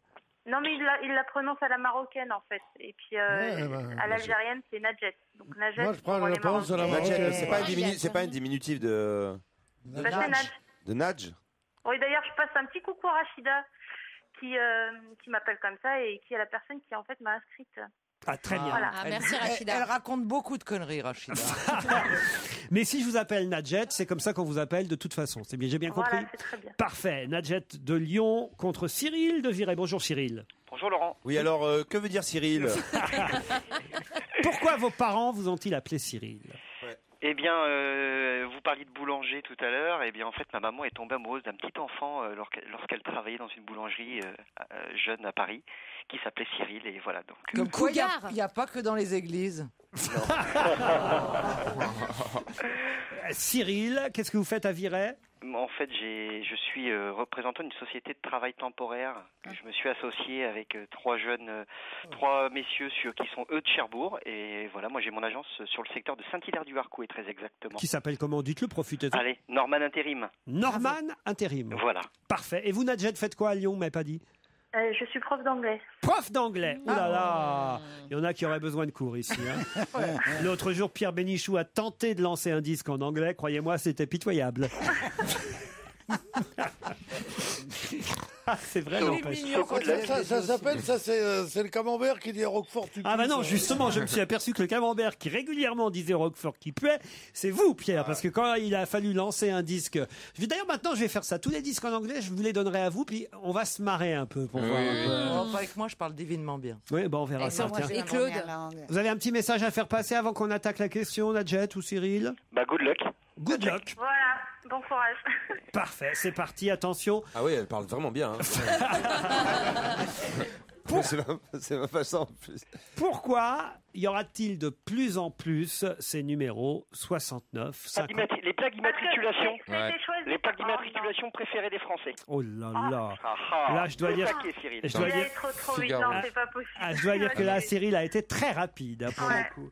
Là, bravo, effectivement. Et effectivement, les Français, puisque maintenant, depuis un an, ils peuvent choisir le numéro de département de leur choix. Et depuis un an, les numéros qui sont privilégiés, les numéros que préfèrent les Français, sont 13, 59 et 69, c'est-à-dire les Bouches du Rhône, le Nord et le Rhône. Et puis, alors, il y a les trois flops, c'est ça- ça- 75, c'est 75, 92 et 93. Plus personne ne veut de ces numéros. C'est tellement ridicule. On, on- on enlève les numéros, à tort ou à raison. Moi, je crois que c'est à tort parce que c'est bien. On jouait, à savoir, tiens, voilà un Lyonnais, tiens, voilà machin. Alors, on Tiens, enlève les numéros. Tiens, voilà une bagnole que je peux rayer, tiens. Bon, Tiens, voilà du boudin. Tiens, tiens, voilà, machin. On supprime ça. On supprime ça pour donner le choix à des gens maintenant à mettre le- un numéro n'importe lequel. T'habites à Avignon, tu mets, tu mets un truc de Cherbourg. C'est incroyable, Le quoi. 50, Monsieur Bénichou. Cherbourg, moi je connais, oui. Oui. Cherbourg avait raison, Cherbourg avait raison de nous aimer. Oui, enfin, ce qu'est en train de vous dire euh, Cyril, c'est que vous saviez pas que c'était le numéro 50, Cherbourg, vous voyez? Ouais, non, c'est vrai, toi, tu savais, le 50, moi je disais. En tout cas, attention Pierre, c'est pas par hasard que les gens choisissent 13, 59 et 69. C'est aussi parce que ils aiment bien le département dans lequel ils vivent. Ah, mais ou- c'est, on peut prendre un département dans lequel on ne vit pas. Bien sûr. C'est- C'est Dans lequel incroyable. on est, on est né, par exemple. Là où on est né. C'est-à-dire que c'est. C'est-à-dire que les gens, que je vous explique, les gens qui habitent le 13 continuent à prendre le numéro 13, tandis que ceux qui habitent le 75 Ils ont honte. euh, prennent plutôt un numéro de là où ils sont nés ou de là où Bah ils oui, vont en vacances. Parce ou de que là- justement, quand Tu ils veulent, partir, ils, veulent ils être tranquilles quand ils partent en vacances. Tu crois pas que le 69, c'est une allusion Ah, elle- elle Depuis le début de l'émission, elle pense que tout est sexuel en fait. Elle est obsédée. Claude, elle aurait mis 69 parce qu'elle aimait bien ça. Ouais. Non, mais je rêve alors. Et si c'est pas un- Par exemple, Titoff, il avait abandonné le 13 pour le 51 parce que c'est le pastis. Voilà, exactement. Bon, non, mais écoutez, de toute façon, c'est une bonne réponse de Cyril qui lui va partir. Tiens, c'est quel numéro la Corse? De, de A ou de B 2A ou 2B, ouais, en fonction. Eh ben, de- vous de- allez aller, euh, je sais pas si c'est en 2A ou en 2B, mais en Corse du Sud en tout cas. Ah, De A. Ah, c'est de B. 2B, Non, de A. une, Oui, des, il va dans le 2. une des plus belles baies de la Corse du Sud, à 15 minutes de Porto Vecchio. Dans l'hôtel 4 étoiles, le Pinarello. Cet établissement intimiste, intimiste, il ne dispose que de 31 chambres. Vous connaîtrez tout le monde. Enfin, je veux dire... Ouais, ça fait un peu club échangiste là, tu sais.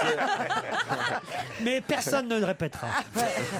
Ah ouais, on connaît la loi du silence encore. Un spa, une salle de fitness, des repas servis sur la terrasse, les pieds dans l'eau, face au golfe de Pinarello. Et Jérôme Bonaldi nous a confirmé que c'était un endroit exceptionnel. Et en plus, vous irez transport payé. Grâce Ah à la ouais. compagnie XL Airways qui vous offre l'aller-retour par avion depuis Paris-Charles de Gaulle jusqu'à Figari, puis le transfert à l'hôtel. Pièce à pièce. Ah, je trouve que c'est très bien d'aller passer des vacances les pieds dans l'eau, tu te disputes avec un type, tu reviens les pieds devant. oh non, mais on va vous donner une image de la Corse. Qui... Ah, moi, alors moi, s'il y a quelqu'un qui aime la Corse, j'ai mis 2A, 2B sur ma voiture. ah oui Comme ça, quand j'arrive à Pigalle, les types, voilà, un peu comme Carello accueillera Cyril. Vous y allez avec qui, Cyril Avec mon épouse Ingrid, qui, je l'espère, m'écoute. Et si elle m'écoute. Elle est là, elle t'embrasse. Un séjour de trois jours et de nuit au cœur d'une des plus belles baies de la France, la Corse du Sud. Merci, Cyril. Et bravo, Nadjet. Vous retenterez votre chance. Congratulations. Oh, I, I kiss you, I love you. I love you, darling. Et vous retenterez votre chance sur ruquier.europe.fr. On va se gêner sur Europe 1. Modou. Petite phrase assassine, grosse connerie. Question citation. Qui a dit s'ils n'ont pas compris ça, je mettrais des coups de fusil? Oh, un méchant.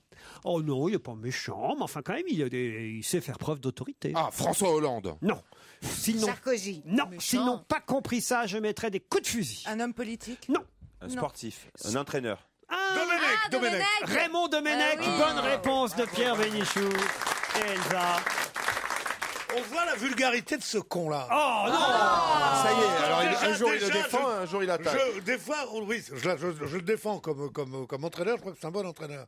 Mais dès qu'il ouvre la, la bouche, c'est terrible. On dit, je donnerai des coups de fusil, je tirerai des coups de fusil, ce qui est déjà grotesque. Je donnerai des coups de mais bâton. je mettrai des coups de fusil. hein. Eh oui. T'as l'impression d'être au bistrot, au quatrième Ricard, mon Dieu. Oh non. Mon Dieu, délivrez-moi de la France. Délivrez-moi de ce pays. Les joueurs doivent être intelligents et dépasser leur ego pour penser que c'est l'équipe qui compte, pas eux. J'arrête pas de vous le dire, moi, pareil.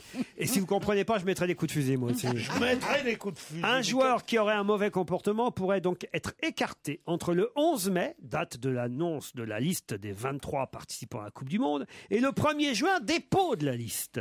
Si tu ne peux pas dépasser ton cas personnel, tu n'es pas un joueur de talent, dit Raymond dans le journal L'équipe qui paraît aujourd'hui. Voilà. Alors qui s'avise, on ne sait pas trop. Est-ce que c'est Ribéry qui veut pas vraiment euh, jouer à droite euh, alors que euh, Domenech le met plutôt à gauche? Est-ce que c'est Anelka qui a publiquement dit que l'équipe de France jouait pas terrible? Est-ce que c'est Benzema qui a un peu traîné les pieds euh, lors d'une dernière participation euh, chez les Bleus? Est-ce que c'est Vieira qui dit à tout le monde qui sait déjà qui va être titulaire? Est-ce que c'est Henri et Galas Non, Thierry Henry, non, parce qu'il dit, dans la même interview, il dit, quant à, quant à Thierry Henry, je ne me fais pas de soucis avec lui, parce que c'est un grand joueur, Titi, Bon. dit-il. Et avec les grands joueurs, Merci. on s'entend toujours. En Voilà tout ce qu'il a cas, dit. il faut une équipe Raymond. unie et soudée. Moi, moi je, je le comprends, Domenech, parce que je suis pareil avec vous. Alors, je peux reprendre mais ces mots, mais mot par mot. Il faut une équipe unie, soudée. Sinon, on n'arrivera à rien. Hein Il sera impossible d'avoir des résultats si tout le monde ne tire pas dans le même sens. On doit tirer dans le même sens, Stevie. Bon, nous, non, on non, tire- non, On va avoir du mal. hein. Vous n'allez pas vous amuser. Certains doivent arrêter, Claude, de ne penser qu'à eux. Chacun doit prendre ses responsabilités. Mais moi, regarde, aujourd'hui, j'étais trop mignonne. C'est vrai, ça. Hein Mais non, parce qu'il Oh, m'a dit que j'étais trop méchante. Gentils. Il m'a dit, il m'a téléphoné, puis il m'a dit, tu sais, c'est plus supportable. C'est- J'engueule tout le monde, t'es méchante. Mais c'est moi qui lui ai soufflé. Je te trouve absolument divine, mais d'une méchanceté. Mais non, mais regarde aujourd'hui. Oh, regarde aujourd'hui, oui, oui. Elle cache son jeu, elle cache son jeu, la Non, vipère. non, je me retiens, c'est tout. Il me retient. Bon, bah laissez-vous aller un moment qu'on rigole quand même, parce que autrement, on finit par se faire chier aussi. Il faut pas non plus. euh, vous voyez, euh, en tout cas, voilà, Domenech part à la chasse à Lego. Raymond euh, Domenech a, a décidé effectivement. Il a raison d'ailleurs. hein, les joueurs sont peut-être un peu trop capricieux, s'il faut bien dire ce a. Mais C'est les divas, il, il avait dit le président de la FFF. Ah oui, il avait dit oui, ça. Oui, La c'est des- FFF, c'est t'es c'est sûr pas des jeux. ou- euh, Ah oui Ah non, il y a- je- il y a un problème football. quand même. Est-ce que la Espa- Espalette Non. Es- Es- Ouais, Escalette. Escalette. Escalette. Il a mis un peu de piment là-dedans. Non, hein. non, Espelette, non. c'est Oui, bien sûr. Escalette non. Escalette Escalette, monsieur Avec un peu de Escalette cannelle. avait Un dit piment d'escalade. c'est- il avait dit que c'était euh, des divas, Ah oui, pas bah, des joueurs. bah, Ah. Monsieur Alexandre Martial Ah bon travaille à la mairie de Toulouse. Il est même, je peux le dire, maire adjoint. Et il a une idée extraordinaire dont toute la presse parle en Haute-Garonne. Ah, c'est ah, euh, euh, Toulouse a été faite euh, ville, enfin meilleure, l'une des meilleures villes où il fait bon vivre. C'est vrai, mais ça n'a aucun rapport. rien à voir. Alors peut-être que cette Ah oui, idée c'est une apporte bonne idée, oui. du confort supplémentaire, mais euh, à la mairie de Toulouse, on parle beaucoup de l'idée qu'a eu le maire adjoint, Monsieur Alexandre Martiel. Est-ce que c'est écologique? Ah oui, oui, assez. oui, Assez. C'est éphémère? Éphémère, non. On pense que ça peut durer, que ça peut même euh, se reproduire dans d'autres villes. Toute l'année, c'est quelque chose qui fonctionne toute l'année. C'est les pistes cyclables. Non, non, ça, ça existe depuis des lustres. Transport à cheval. Si j'ose dire, d'ailleurs, des lustres, parce qu'il y a un petit rapport. Transport à cheval. c'est des les peu ampoules partout. Non, non, non. non. Ah, il veut remplacer. Ah, les ampoules, l'éclairage de la ville. C'est-à-dire Bah mettre des LED plutôt Oh non, que. mais ça, tout le monde le fait déjà Alors, il veut remplacer peut-être les réverbères par des euh, Non, bougies. mettre des panneaux solaires pour, Des recharger, pour recharger les lampadaires. Bah oui, comme à l'époque euh, de, C'est de pratique, Stevie les- Louis XIV. Bien sûr, c'est pratique les bougies en plus quand il y a un peu de vent, tout ça. Ouais, non, Ah non, bah, non, elles mais sont protégées. Ah C'était bon, protégé ah, par ouais. du verre. Bah C'était oui. c'était des becs de gaz à l'époque. Oui. On mettait, on allait, il y Ah, avait l'allumeur de réverbère. Avant, c'est des bougies. C'était une allumeuse de vrai berbère, mais là, c'était ça.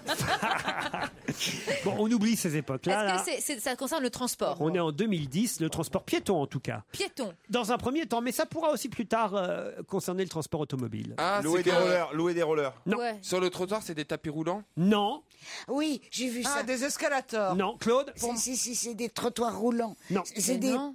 C'est quelque chose qui roule. Non. Non. C'est Ah. c'est une énergie. C'est-à-dire C'est une énergie qui est, qui est causée, enfin, qui est dans, dans la source, et simplement dans, le, dans la façon de marcher des gens. C'est-à-dire Non, il y a les... Ah, on souffle Ah, de l'air pour oui. avoir chaud aux pieds. Ah non, non, ça crée En de l'électricité. En marchant, ça crée de l'électricité. l'électricité. Bonne réponse de Pierre et Titoff, le trottoir électrique. Car l'énergie produite par les micro-vibrations de vos pieds sur le trottoir, un trottoir intelligent de 8 mètres de long, va générer une cinquantaine de watts et éclairer les réverbères installés dans la ruelle. au C'est-à-dire, secours. si vous ne marchez pas, ça s'éclaire pas. nuit. Si vous marchez, paf À peine vous génial. arrivez, la rue s'illumine. Et puis ils ont, mis des, Formidable. ils ont mis des carreaux comme dans le clip de Michael Jackson, c'est comme ça ça met une bonne ambiance. Et s'il pleut et que t'es en tongue, euh, tu te court-circuites et tu crèves sur Oh, le circuit. mais non, Mais c'est non. Étudié quand même. Bien Elle sûr, est c'est folle. étudié. Et on pourrait même imaginer à terme que les trottoirs les plus fréquentés de la ville soient équipés de ce dispositif qui déjà a été testé à. Londres d'ailleurs sur une piste de danse d'une boîte de nuit. Mais là, à Toulouse, c'est sur un trottoir sur 8 mètres de long. Et, et sachez même que plus tard, on testera peut-être le lampadaire radar dont la puissance lumineuse variera en fonction de la présence ou non de piétons à la clé. 80% d'économie d'énergie quand même. C'est pas idiot. Et si, C'est pas, si Caroline, un trottoir de 8 mètres, hein, c'est tout petit. Ouais, mais D'un coup, je mets, je mets ma soeur et deux copines, et puis ça, voilà, bah, je ça. peux pas, je, je le rentabilise même plus, ce trottoir. Enfin non, écoutez. Mais non, mais attendez, ça Il n'y a dire... pas de saut métier, moi, je dis. Tiens Stevie, est-ce que vous pouvez m'annoncer le disque suivant? Car j'ai décidé que désormais je n'annoncerai plus aucun disque. C'est le numéro 3 là, voilà. Alors, euh, le- tout de suite, on va écouter Donna Summer. En 1979, la chanteuse américaine interprétait Hot Stuff. Oui, On enfin, écoute. il faut mettre un peu le ton, vous voyez, ça c'est pas Ah très... ouais, d'accord. Alors, quoi? tout de suite, on va écouter Donna Summer. En 1979, rappelez-vous, la chanteuse américaine interprétait Hot Stuff. Hot stuff Hot stuff Et on va gêner se poursuit sur Europe 1 avec Laurent Ruquier à ses côtés aujourd'hui. Titoff, Elsa Fayer, Pierre Bénichou, Caroline Diamant, Claude Sarraute, Stevie et la Miliado qui nous rejoint. Europe 1, on va se gêner. Do, ré, mi, fa, si, liado.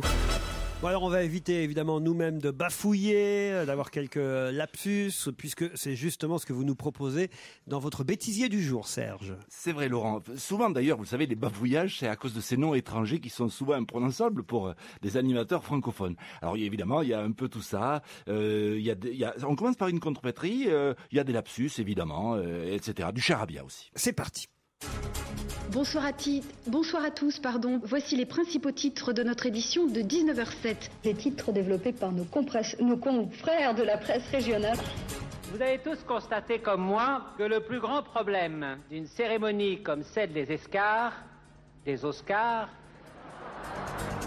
Autre rencontre à suivre, Michael Yodra face au Tchèque euh, Spetanek, Spenaket, Stepanek. C'est un conseil des ministres particulier aujourd'hui? C'est un communiste, un, un parti. Excusez-moi, oui, je suis très très ému. C'était un conseil des ministres très dense. Au cours de la Première Guerre mondiale, un message qui réconfortera, qui, réconforte- qui réconfortera Les courses, c'est ce dimanche à Auchan. Question numéro 16. Dans le film La communauté de l'anneau, quelle actrice joue le rôle d'Arwen? Est-ce que c'est Kirsten Dunst? Est-ce que c'est oui, Reese Witherspoon? Ah, on m'a gâté. hein. Si toutefois vous deveniez euh, Miss France, comment euh, imaginez-vous l'avenir dans les 12 années, dans les 12 mois qui viennent, pardon? Pour représenter le privilège de notre, notre élégance de- et notre, et notre savoir-faire de notre agriculture, de notre agriculture, de notre savoir-faire et dans tellement d'autres choses. Merci beaucoup. L'avocat de Nicolas Sarkozy, il a pété pendant plus de heures. Plus de 1000 participants seront euh, versés. Euh, c'est pas 1000 participants qui, vont, qui ont été versés, c'est 1000 participants qui chacun ont versé 50 francs pour l'association contre la lutte pour la drogue. Contre la lutte, je suis complètement perdu. Ah, c'est terrible. C'est qui le dernier présentateur d'Antenne Oh, 2 je sais pas, j'ai pas réussi à l'identifier. Ah, c'est pas, faut- c'est pas bien, faut dénoncer dans ces cas. Les courses, les courses chez Auchan. On a c'est- reconnu Mitterrand. Les courses à Auchan, c'est extraordinaire. Ah, Frédéric Mitterrand, c'est lui évidemment qui prononçait ce discours lors de la cérémonie des Escars. Ah Et oui, mélangé avec les Oscars et les Césars. ouais. Et oui, César, Oscar, ça donne Escar. Bravo Serge pour cette petite trouvaille, euh, certaines qu'on n'avait quasi jamais entendues, donc c'est pas si mal. Bravo, à demain. À demain. Question suivante. De qui François Fillon a-t-il dit qu'il comprenait leur traumatisme tout en ne changeant rien aux décisions Ah bah, de, prises de ceux qui, sont, qui, qui ont leur leur maison en Charente-Maritime, qui vont être rasés. Bonne réponse de Pierre Bénichou. Alors là, là, il y a toute une polémique. hein. Certains, Quel dossier, certains disent que le gouvernement a raison de ne pas céder, qu'il faut qu'effect- qu'effectivement ces habitants quittent euh, ces maisons qui sont dans des zones euh, sinistrées aujourd'hui, des zones noires. Puis d'autres disent, bah non, on partira pas de chez nous. On a des témoignages assez terribles euh, dans, dans la presse hein, de, de gens qui euh, disent, bah non, euh, les, les- les bulldozers me passeront sur le corps, mais je resterai euh, dans ma maison. Pierre, je vous ai entendu dans l'émission de Philippe Labro sur Direct 8, car je vous regarde parfois euh, le lundi soir. Et alors vous étiez, mais alors euh, vent, euh, non, vent c'est pas un mot employé dans ces cas-là, mais euh, vent Vent de debout, marée. vent debout, en tout cas pour euh, pour que on revoie un peu ce, Bien ce- ces zones noires. Je, je trouve que ce, ce traumatisme terrible qui va- que, que vont subir les gens, moi je sais ce que c'est le traumatisme de perdre des maisons et de perdre son pays même. Bon, donc puisque je suis un rapatrié d'Algérie, il y a eu pas 1500 maisons, mais à peu près 300 fois plus là-bas que- qui ont été abandonnées. C'est pas de ça que je veux parler. Je veux dire que de toute façon, c'est très mal vécu. Alors un gouvernement qui a montré son impéritie, qui a montré son- sa nullité en laissant construire là où il fallait pas, en, en faisant des, en, en faisant pas, euh, comment dire, euh, aménager les, les, les Digues. digues et les canalisations et les, et les, app- les arrivées d'eau et tout ça, tout d'un coup, sans, sans concertation, sans, sans avoir pesé toutes les solutions. Il y a, il y a des solutions. On peut refaire des digues. Ben non, c'est justement, je trouve qu'il y a un Mais très comment bon- ils le savent en deux jours Il y, a, il y a un très bon dossier dans Libération aujourd'hui, je Mais trouve. oui, mais c'est un dossier Parce que tronqué, j'ai- truqué. Ah, attendez, écoutez, j'étais un peu comme vous euh, à dire, par exemple, euh, parce qu'on a vu une dame qui dit Regardez, on n'a même pas eu 20 cm d'eau dans Oui, notre mais il y a eu des morts, il y a Attends, quand même- attendez, attendez, laissez-moi terminer quand même mon explication, ce serait formidable. Pardon. Donc, regardez dans notre maison, il y a eu 20 cm d'eau. euh, euh, on ne meurt pas avec 20 cm, on a le droit de rester dans notre maison. Alors, euh, euh, ce qui- ce qu'explique, euh, par exemple, des spécialistes dans l'IB aujourd'hui, disent bah, Oui, mais cette dame, par exemple, devant sa maison, il y a d'autres maisons qui vont être rasées, elle. Il se trouve que ce sont les maisons devant qui ont empêché sa maison à elle d'être inondée, inondée. et, ce qui fait qu'elle n'a eu que 20 cm d'eau. Mais si les autres maisons devant la sienne sont, sont rasées, ben évidemment que la sienne, elle sera en première ligne et la prochaine fois, elle aura plus de C'est 20 logique. cm d'eau. C'est Ouais. logique. Par contre, quand- aura- par contre, quand elle on aura voit un belle témoin- vue. Quand on voit un témoignage comme ça, euh, on réfléchit pas effectivement à, à tout ça. Je trouve que c'est très bien expliqué dans le dossier Très de bien l'IB aujourd'hui. expliqué dans l'IB, Ah mais oui. euh, comment ils ont pu savoir tout ça en trois jours, alors qu'en 30 ans, ils ont, pas, ils ont été capables de rien foutre. comme En trois jours, ils savent ça. Non, Et alors, prise de il y a aussi, décision. il y a aussi, j'ai un ami architecte qui me l'a, qui me l'a affirmé, qui est un très bon architecte connu internationalement, qui m'a dit, mais les maisons sur pilotis, on peut très bien en faire beaucoup. Et c'est très bien des maisons sur pilotis. Pourquoi il n'y aurait pas sur cette côte-là des maisons sur pilotis Ouais, puis on va mettre tous les gens de Charente-Maritime et de Vendée en, en, en- en Vahiné, et puis on on n'est pas en Maldives ou, ou à Tahiti, Pierre Bénichou. On n'est pas en Maldives ou en Tahiti, on est dans un pays qui crève de, de, de, de Ouais, mais les maisons, les maisons qui ça. existent déjà, tu peux pas les remonter et mettre des pilotis Bien en dessous. sûr Si, si, ça se remonte. Ah ouais Ça se Ah, remonte Comme les. C'est un- ça bah, ça fais-le, s'appelle alors. faire un lifting Ouais, puis on va bétonner Caroline, la. Caroline. Bon, d'abord, ils sont quand même mieux indemnisés que- qu'en Haïti. Déjà. Voilà. Non, alors ça, c'était d'un mauvais goût. Non, mais je voudrais dire une chose. C'est un problème de propriétaire, ce que je souhaite à tout le monde une fois dans sa vie, d'être d'avoir la chance d'être propriétaire.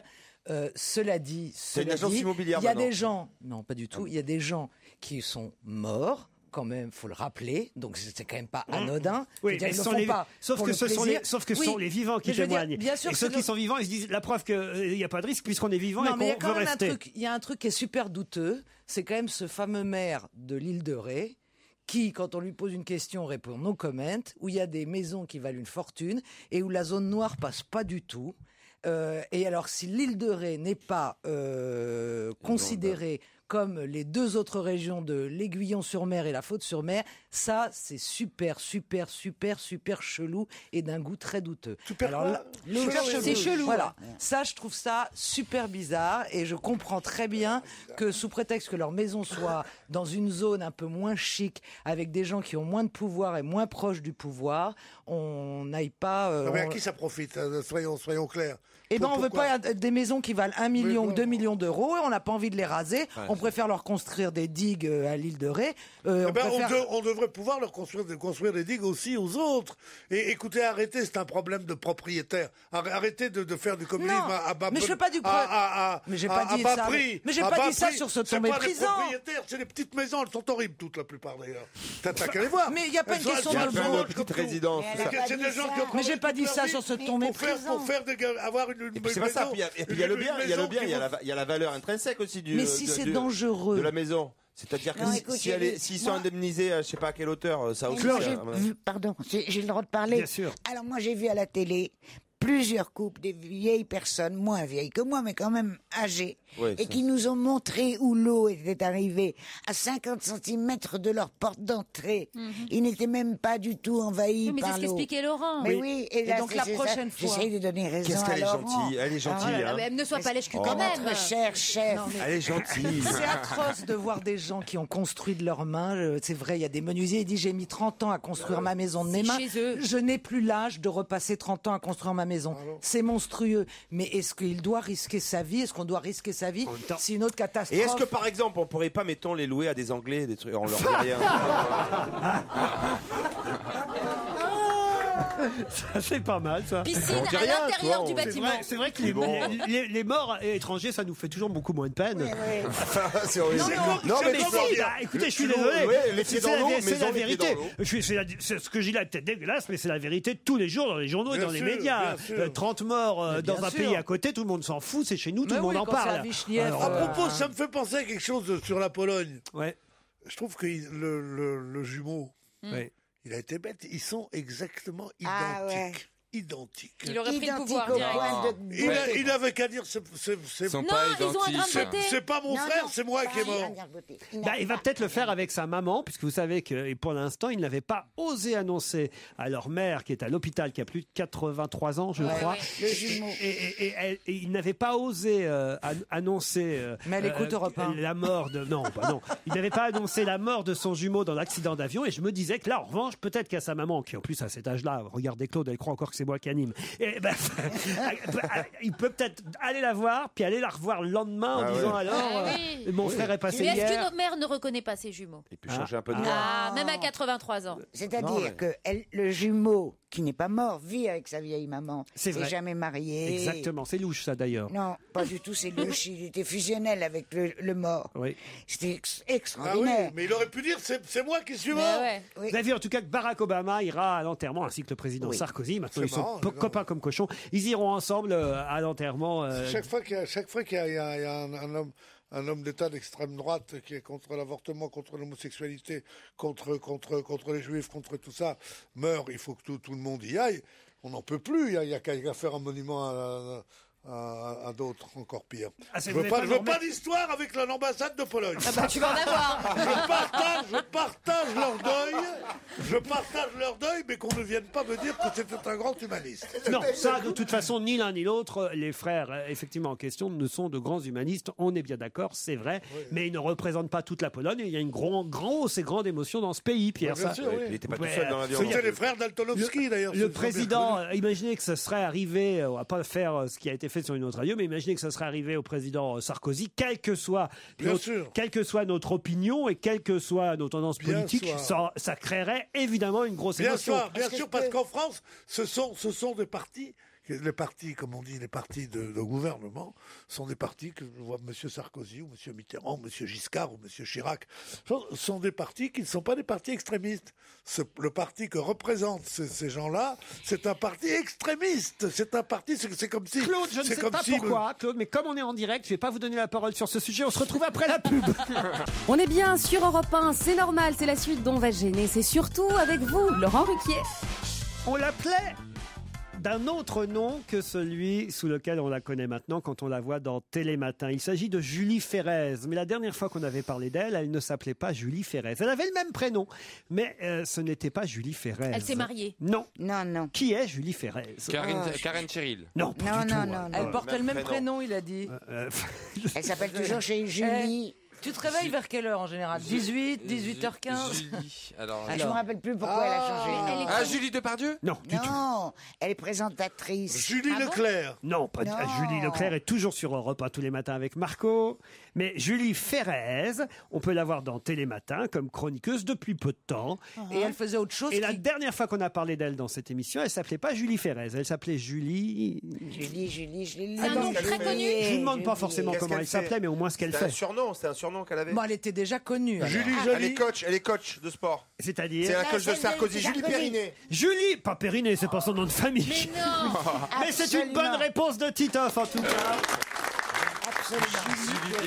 Julie Imperiali, elle s'appelait à l'époque. Quand on avait parlé d'elle, elle avait, euh, ça avait beaucoup fait jaser. hein. Elle avait donné évidemment. Des détails. bon, enfin, je crois qu'elle s'était fait piéger par un journaliste, hein, je dois dire. Comment piéger? C'est On une- peut pas très important. piéger. La gymnastique du Non, périnée. ce que je veux dire, Claude, par la Si vous me laissiez Il y a terminer plus mes de phrases. Périnée. Si vous, me... Comment? si vous me laissiez terminer mes phrases et mes Pardon. arguments, vous ne seriez pas sans cesse en train de râler et de protester. Je suis juste en train de dire qu'elle essaie, elle essayait, euh, certainement la pauvre s'est fait interviewer à l'époque. On a dû lui demander quelle était sa spécialité. Elle a dû dire le périnée, patati patata. Elle a fait euh, trois quarts d'heure sur le périnée. Puis à la fin, on a dû lui demander et alors euh, qui vous entraînez? Quels sont vos clients? Paf elle, en a, elle a dû en, en balancer 10, Ah, parmi ouais. lesquels il y avait Carla Bruni. On sait comment ça se passe. Et Nicolas Sarkozy. Elle s'est retrouvée le lendemain avec un gros titre euh, Carla Sarkozy et, et Nicolas euh, fous du périnée. J'en sais rien. Enfin, vous voyez. Et total, ça a fait tous les bruits pendant pendant 15 jours. Je crois même qu'elle s'est fait un peu Oui, Ah bah non, si je dire- je crois. Mais je comprends bien, mon chéri. Mais ce que je voulais dire, c'est que tout le monde a rigolé.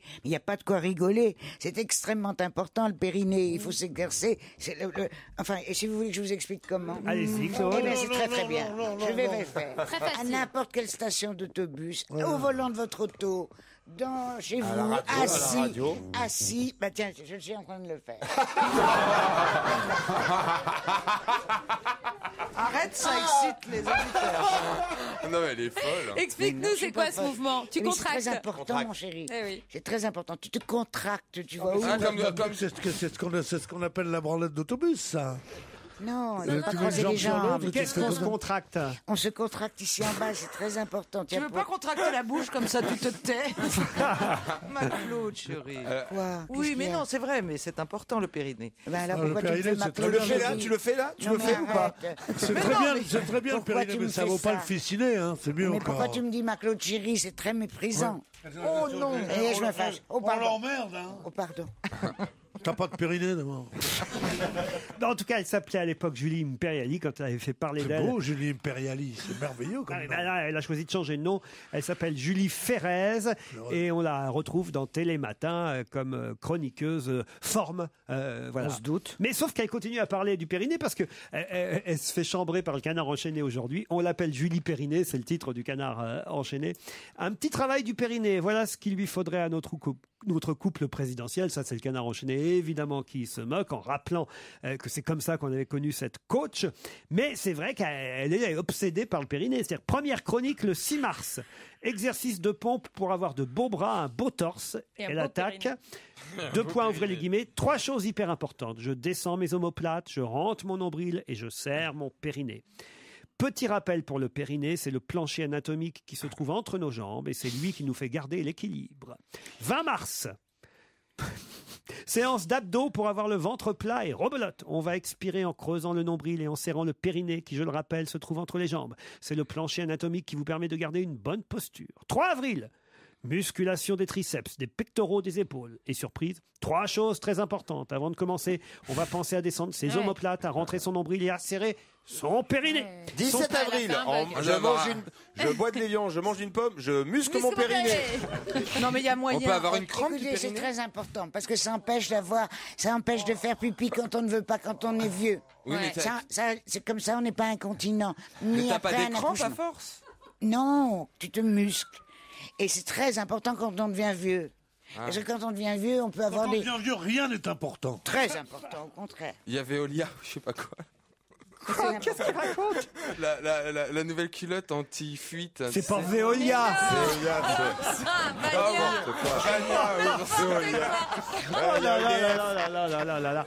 Tenez Claude, puisque vous êtes en forme et que je sais que vous adorez ce garçon, vous allez annoncer le disque suivant. Voilà, c'est tout en haut. hein. Attention, c'est parti Claude. Âme, c'est tout. Et le dernier single extrait de son album Mr. Mystère. M est actuellement en tournée en Europe. Ah, c'était M d'abord. Mais il est français, ouais. M, c'est M. Vous savez qui c'est M Oui. Je l'adore. C'est qui C'est c'est Mathieu Chédid. Pardon, mais, pardon, mais tu peux le faire en anglais Bah oui, ou c'est ça, c'est Mathieu Bah oui, Chédid. Tu peux dire Mister- M en anglais M. Ah, Très bien. Mr. Mystère. Et, et la chanson Mister, Mister, Non. Mister Mystère. Non, Mister Mystère, c'est l'album. M. Non, ça c'est le nom. Et la chanson, c'est Mystère. Mais si c'est pas écrit, c'est Si ça c'est écrit. Avant. Ah, Cathy Mélua. Non Mais c'est Titeuf qui l'a dû en erreur aussi. Il lui montre autre chose. Ah, pardon, j'ai- il m'a expliqué. Oui, là, Titoff. Âme, c'est tout. Âme, c'est tout, pareil.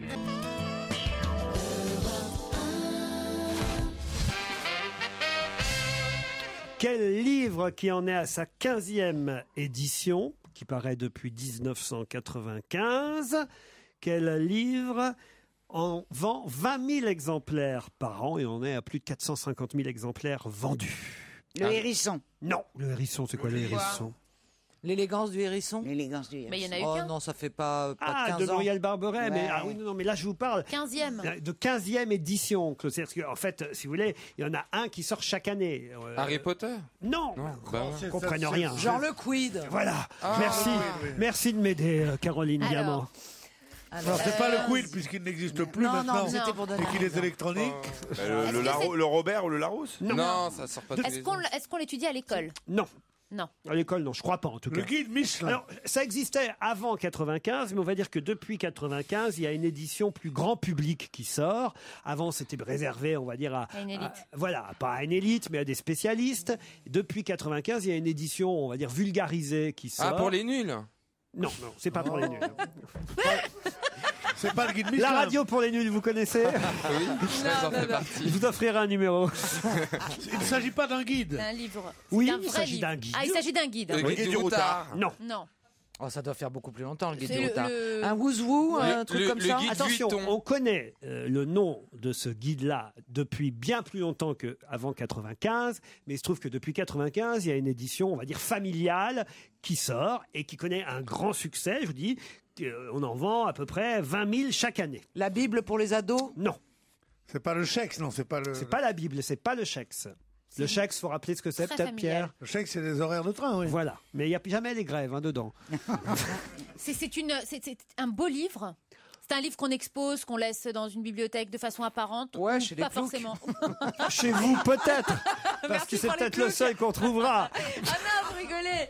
Les chroniques Non, c'est pas Je suis sûr, beau. chez vous, il y en a un.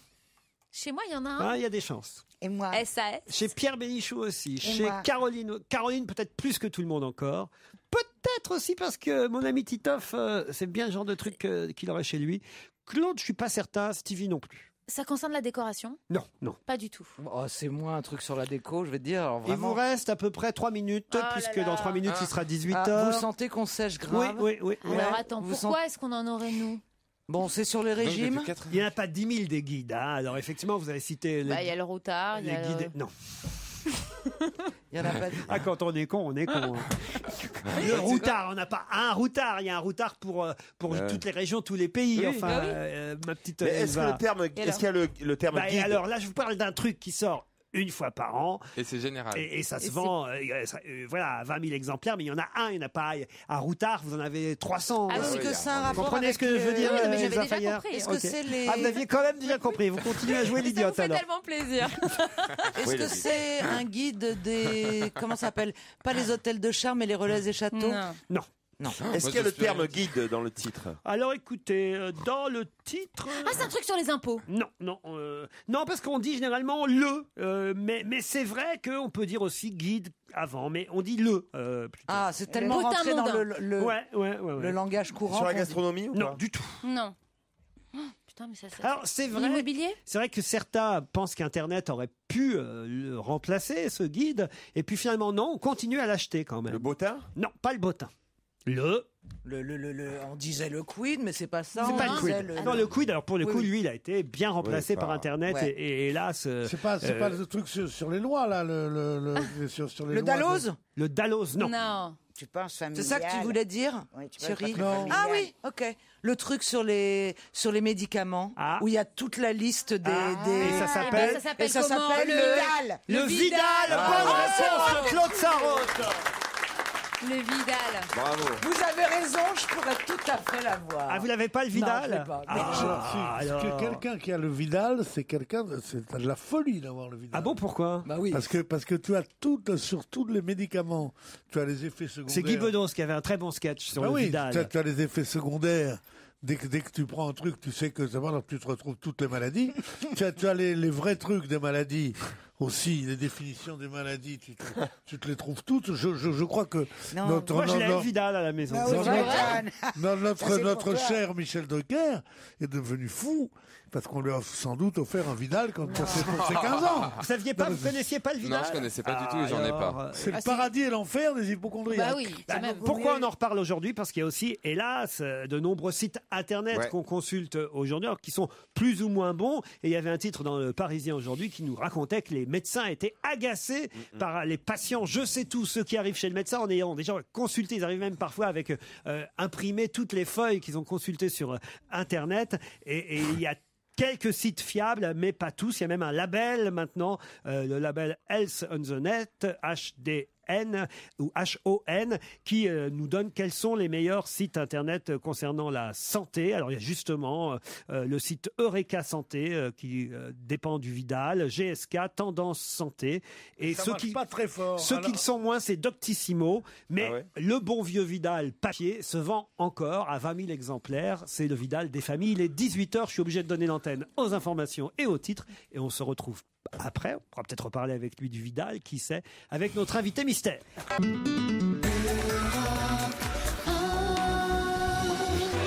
Europe 1, on va se gêner. Attention, voici le moment de découvrir qui se cache dans la loge d'honneur. Je regarde un peu la liste de ceux qui justement sont venus se cacher dans notre loge ces dernières semaines. Hier, c'était Franck Dubosc, on a eu la jeune chanteuse Camélia Jordana avant-hier, le chanteur Tété Pierre Lescure, on a eu Philippe Gildas, la chanteuse Hélène Ségara, Stéphane Guillon, Laurence Badi, Yann Moix, Manu Paillet, Jean-Pierre Coff, Alain Afflelou, et oui, même des opticiens, tout est possible. Qui est caché dans notre loge On a eu Rémi de Carglass aussi. non, justement, on cherche, mais on l'a pas encore eu. Qui est là aujourd'hui? La voix va être déformée. À vous de poser des questions auxquelles notre invité ne pourra répondre dans un premier temps, en tout cas que par oui ou par non. Ou quelques phrases courtes de temps en temps, je le rappelle, quand le oui ou le non ne sont pas possibles. Bonjour, invité d'honneur. Non. oui, ça c'est le coup classique. hein. Vous n'êtes pas le premier, hein, attention. Euh, vous, pouvez Oui. dire, vous pouvez dire bonjour, il n'y a pas de problème. Et, et ça- Bonjour, il n'y a pas de problème. Alors attention, je vous laisse aux mains de mes camarades. Vous n'êtes pas humoriste De temps en de- Oui, oui, Vous êtes humoriste? De temps en temps. Oui, temps oui, bah, temps. ça se voit. Euh, vous êtes un homme? Oui, Euh, Est-ce que c'est votre métier, humoriste? Ça fait partie. Ça, en fait partie. Vous êtes comédien? Plus beaucoup. Plus, Plus beaucoup. beaucoup. Euh, Vous passez à la télé. De temps en temps. Vous avez fait de la Ah, elle est télé-réalité bien, sa voix, ça vous fait une voix euh, Ouais, sympa. ouais, sympa. Question de Stevie. Vous avez fait de la télé-réalité Non. Est-ce que vous faites de la radio Non. Est-ce que vous êtes également chanteur Non. Du cinéma Vous êtes réalisateur Oui. Ah, Ah, vous êtes réalisateur. Ah, faut que je Pierre, tu veux pas jouer avec nous Si, si, si. Mais- Pierre ne cherche plus parce qu'il trouve jamais. Alors. Bah, C'est moi qui ai quand même Alors, trouvé l'autre jour. réalisateur. Mais pas que. Comment Mais pas que. Pas Mais que pas réalisateur. Vous êtes aussi. Vous Alors, vous, faites- vous écrivez faites- vous-même vos- les films Oui. Et Vous vous, faites jouez la dedans paella Est-ce que vous jouez dans les films aussi Non. Vous faites la paella Non. Alors, Ça, c'est une question qui va nous, ra- qui va nous, nous rapprocher de la, la solution. Bah oui. Ça va, ça va, t- t- détrompe-toi. Alors, réalisateur, scénariste, parfois humoriste, Mhm. Pas acteur. euh, pas acteur. Mais quand vous dites humoriste, c'est-à-dire euh, en spectacle, euh, c'est ça en- Vous avez fait des, des one-man shows Non. Non, ça veut dire Humoriste, c'est quoi des, euh, T'as fait des films drôles. Parfois. Parfois, oui. Parfois. Est-ce que vous avez du comique ou de l'esprit? Les deux. Les Les deux deux. Oh, bah dis donc, maman, on se, on se- On se mouche pas du pied. on se pousse pas du col. Mais tu poses la question. Ça Ça va les chevilles, pose ça la enfle pas trop question. C'est Pierre Bénichou qui pose la question. C'est pour ça que j'ai répondu comme ça. Oui, vous reconnaissez les prétentieux. Vous êtes, br- Entre prétentieux, on se reconnaît. Alors, vous êtes Euh, brun? Oui. Vous avez fait plutôt, euh, mettons, deux, trois films ou plutôt une quinzaine? De, de films Cinq films. Cinq. Ah, c'est Ah, c'est pas mal. ouais. est-ce qu'il y a des chances qu'on les ait vus Ah bah, ça, comment il peut savoir? Alors franchement, euh, bah, C'est une manière élégante de demander si S'il a c'est fait des, des cartons, quoi. cartons ah, ou des est-ce qu'il y a eu des cartons parmi les cinq films que vous avez réalisés? Il y a eu des papiers. Comment? J'ai pas entendu. Des Il y a papiers. eu des papiers. Des papiers? C'est pas C'est-à-dire que c'est. des, des bons succès, voilà. Des bons succès. Très bien. Pas des cartons, mais des bons succès. Très bien. Ah oui. Est-ce que ce sont des histoires, des comédies sentimentales? Non. Est-ce que ce sont des films d'action, Non. Des films de. de terreur, Non. fantastiques Mais c'est des comédies en fait. Oui. Voilà. Est-ce qu'on vous voit dans les pages People? N'importe quoi. Très, très rarement. Très rarement. Moi, j'aurais même répondu non, alors, pour le coup. Voici un premier indice sonore. Rosa,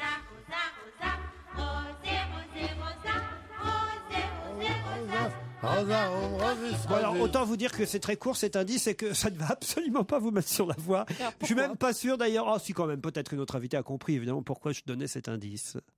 Non. Non, bah, très bien. C'est normal, Moi, tout va ça me bien. donne une idée. Ah oui, allez-y. Est-ce que vous avez fait partie d'une troupe? Ah, c'est une bonne idée, même si ça n'a rien à voir avec l'indice, mais c'est pas grave. Non. Non, d'accord. Oh, mais est-ce qu'on peut dire que euh, autour de votre nom, il y a eu comme une troupe? Oui. Voilà, quand même. Ah, comme une bande, comme la bande à Ruquier. Pas tout à fait, mais, mais, mais quand même une famille, en tout cas, on va dire. Voilà. Ah, je sais. Hmm. Je sais pas, je crois que je suis dans un jour vraiment intelligent aujourd'hui. Ah oui, c'est vrai?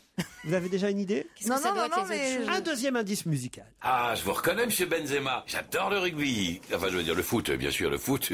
Alors, comme ça, vous vous engagez sur tous les terrains. Comme nous avec ILCL. Eh oui, ILCL, ça n'est pas seulement de la gestion de compte, c'est tout LCL 100% en ligne. Prêt, assurance, épargne et même conseiller personnel. Et si ça n'est pas 100% en ligne, LCL vous rembourse jusqu'à 100 euros. Alors, heureux? Là, tu viens de marquer un but. Avec ILCL, une vraie banque s'engage. Ils vont, être, ils vont être contents, ils ont de la pub en plus sur Europe 1 maintenant. Là, Est-ce que- là, au moins cet indice, au moins cet indice, vous l'avez compris, euh, notre invité. J'ai tout à fait compris. Parfait. Est-ce que c'est vous qui réalisez ce- cette série de pubs Oui. D'accord. Oui. Ah. Ça, c'est D'accord. dur à trouver. Qui réalise Bah oui. Ah bah oui, mais c'est ça aurait un- été plus simple si vous aviez été un de ceux qui l'a. Oh qui bah non, ils sont tellement nombreux, je vais vous dire, ça aurait pas été plus simple. Oui, mais enfin, ça réduisait quand même le. le- Ah le- oui, mais sauf que lui, on ne le voit pas, mais vous le connaissez quand même. Est-ce qu'il vous Cinq arrive de films. mettre des pièces de théâtre en scène? Bonne question de Pierre Bénichou.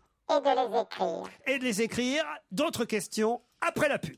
Europe1.fr On va gêner se poursuit sur Europe 1. On retrouve Laurent Ruquier et ses complices qui n'ont toujours pas trouvé l'invité d'honneur. Alors, ça va venir, je vais au moins faire un, un résumé évidemment de ce qui a été dit juste avant la publicité. Alors on sait, grâce à vous, grâce à vos questions, que notre invité d'honneur et réalisateur. Il a même réalisé euh, cinq films. Déjà humoriste, auteur. On sait, grâce à une dernière question de Pierre, qu'il est metteur en scène de théâtre. On sait aussi, grâce à Pierre, qu'il ne fait pas de paella. Et, et c'est lui qui a réalisé la publicité qu'on a pu entendre tout à l'heure sur une célèbre banque. Et c'est vrai que je l'ai appris parce que moi, j'aurais dû m'en douter en voyant les comédiens qu'on voit régulièrement dans cette pub, mais je ne savais pas que c'était lui qui la réalisait. Vous avez pensé à un nom de Moi, j'ai réalisateur? pensé, mais je sais pas, je pense pas que ça soit Étienne Châtillaise. Est-ce que vous êtes Étienne Chatilliez Non. Non. Non, plus Est-ce que votre films. père, est-ce que votre père est- était un, un acteur célèbre? Non. À qui vous pensiez, Pierre? Bertrand Blier. À Bertrand Blier. Non. Euh, Est-ce que. Je vais trouver une question, j'arrive. Est-ce que vous portez des lunettes? Oui. Oui, il porte des lunettes. Ah, ça- non. Vous- Est-ce que vous avez une montre en or? Oui. Ah, bah c'est ça.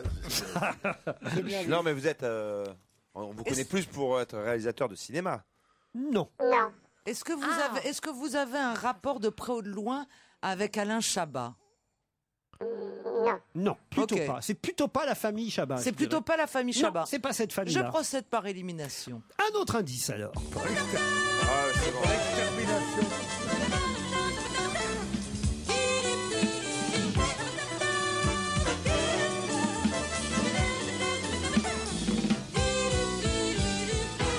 Il semble que cet indice est mis sur la voie d'abord Caroline. Est-ce que votre père.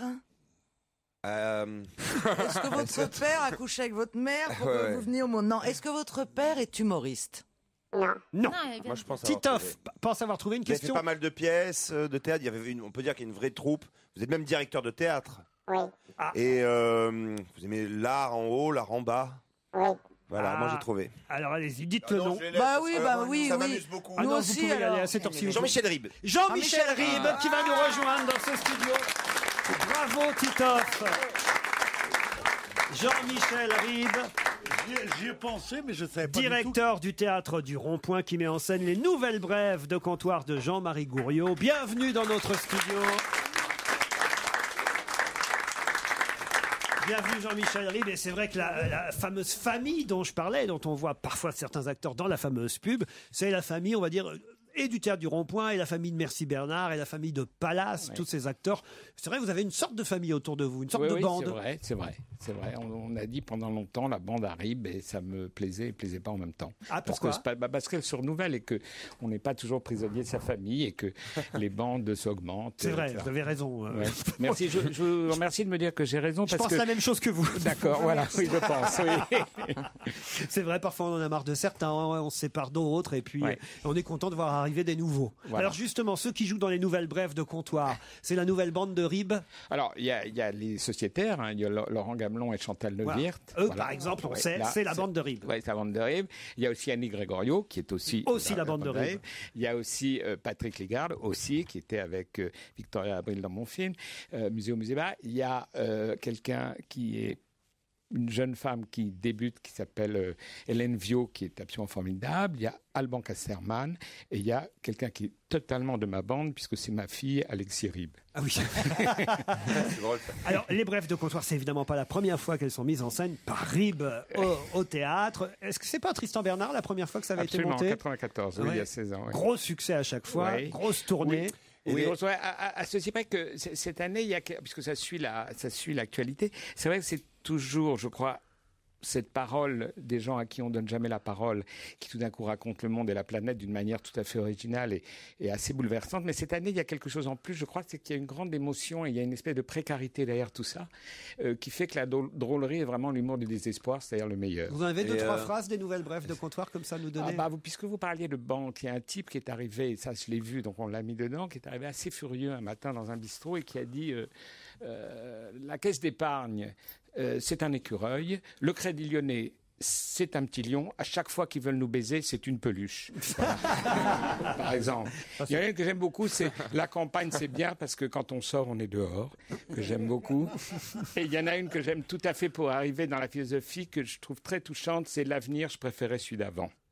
Que j'aime beaucoup. Très joli. Ah, c'est très joli. Ouais. Les brefs de comptoir de Jean-Marie Gouriot, mise en scène au théâtre du Rond-Point par Jean-Michel Ribes. Alors, c'est à quelle heure et, et où? Parce qu'il y a plusieurs spectacles et plusieurs scènes au théâtre du Rond-Point. Oui, alors c'est c'est à 21h. C'est vrai que euh, tout le monde est bienvenu. C'est vrai qu'il faut se précipiter un peu parce qu'il y a je dire, pas mal de monde. Et puis, il y a d'autres spectacles, dont un spectacle que je suis très heureux d'accueillir, qui est un spectacle de l'immense Dario Fo, qui s'appelle Alice, etc., monté par Stuart Sade. Ça, c'est jusqu'au 15 mai. 15 mai, bravo. Et j'ai compris Rosa, Rosa, Rosa. C'était Rosa Larouche avec Claire Diterzi, euh, une espèce d'opéra rock que monte Martial Di Fonzobo sur euh, donc euh, euh, Rosa, Rosa Luxembourg, Luxembourg. qui devient un sexe symbole grâce à Claire Diterzi, chanteuse magnifique. Un spectacle musical qui s'appelle donc Rosa à la Rouge. Et ça, c'est du 11 au 22 mai au théâtre du Rond-Point, dans une autre salle. Donc. Voilà, voilà. Il y a trois salles et, et, euh, voilà, on fait plein de choses et plein de bêtises dans chaque salle. On en reparle dans un instant. Jean-Marie Jean-Marie Gouriot, vous voyez, ça devait Non, arriver. Jean-Michel Ouais. Ribes est notre invité jusqu'à 18h30. Retour au studio Merlin d'Europe 1 pour la suite d'On va gêner. On vous retrouve Laurent Requier avec votre invité aujourd'hui, Jean-Michel Ribes. Jean-Michel Ribes, directeur du théâtre du Rond-Point, qui vient nous parler, entre autres, des nouvelles brèves de comptoir de Jean-Marie Gouriot, mise en scène par Ribes au théâtre du Rond-Point. Il vient de temps en temps, Gouriot, voir Ah un oui, petit il est venu. bah, vous savez que euh, il s'arrête de récolter dans les bistrots de temps en temps, puis il vient, puis il écrit des romans, puis il prépare une grande, un grand festival du livre à Taloir parce que maintenant il habite dans les Alpes, etc. Non, non, il vient, bien sûr. Justement, je voulais savoir, moi ça m'intéressait de savoir de la période de, récolte, on va dire. Alors, justement, c'est- c'est le- combien, de temps, euh, sur combien alors, de temps alors la, première année, c'était sur, euh, c'est- euh, c'était sur 4-5 ans. Et on a fait ça en 94. C'était compliqué parce que lui, il voulait pas. Il disait, c'est, je veux jeter ça comme ça. J'ai trouvé de la littérature dans les bistrots. faut laisser ça comme ça. Moi, je lui ai perçu, avec Jean Carmet, qui avait tenté de les incarner dans Palace la première fois. Et moi, je lui ai dit, il y a du théâtre là-dedans, faut le faire. Finalement, ça s'est fait on- et ça a en effet très bien marché. Le deuxième, c'était en 99-2000, le passage du siècle. On voulait s'arrêter, puis là, il est reparti, et ça fait deux, trois ans avant aujourd'hui, mais c'est étonnant parce que les dernières ont été presque faites, mises, incluses pendant qu'on, pendant qu'on répétait. Par exemple, euh, par exemple, euh, c'est vraiment bien pour la France que les États-Unis aient élu un président antillais. Celle-là, c'était, c'était, c'était récent.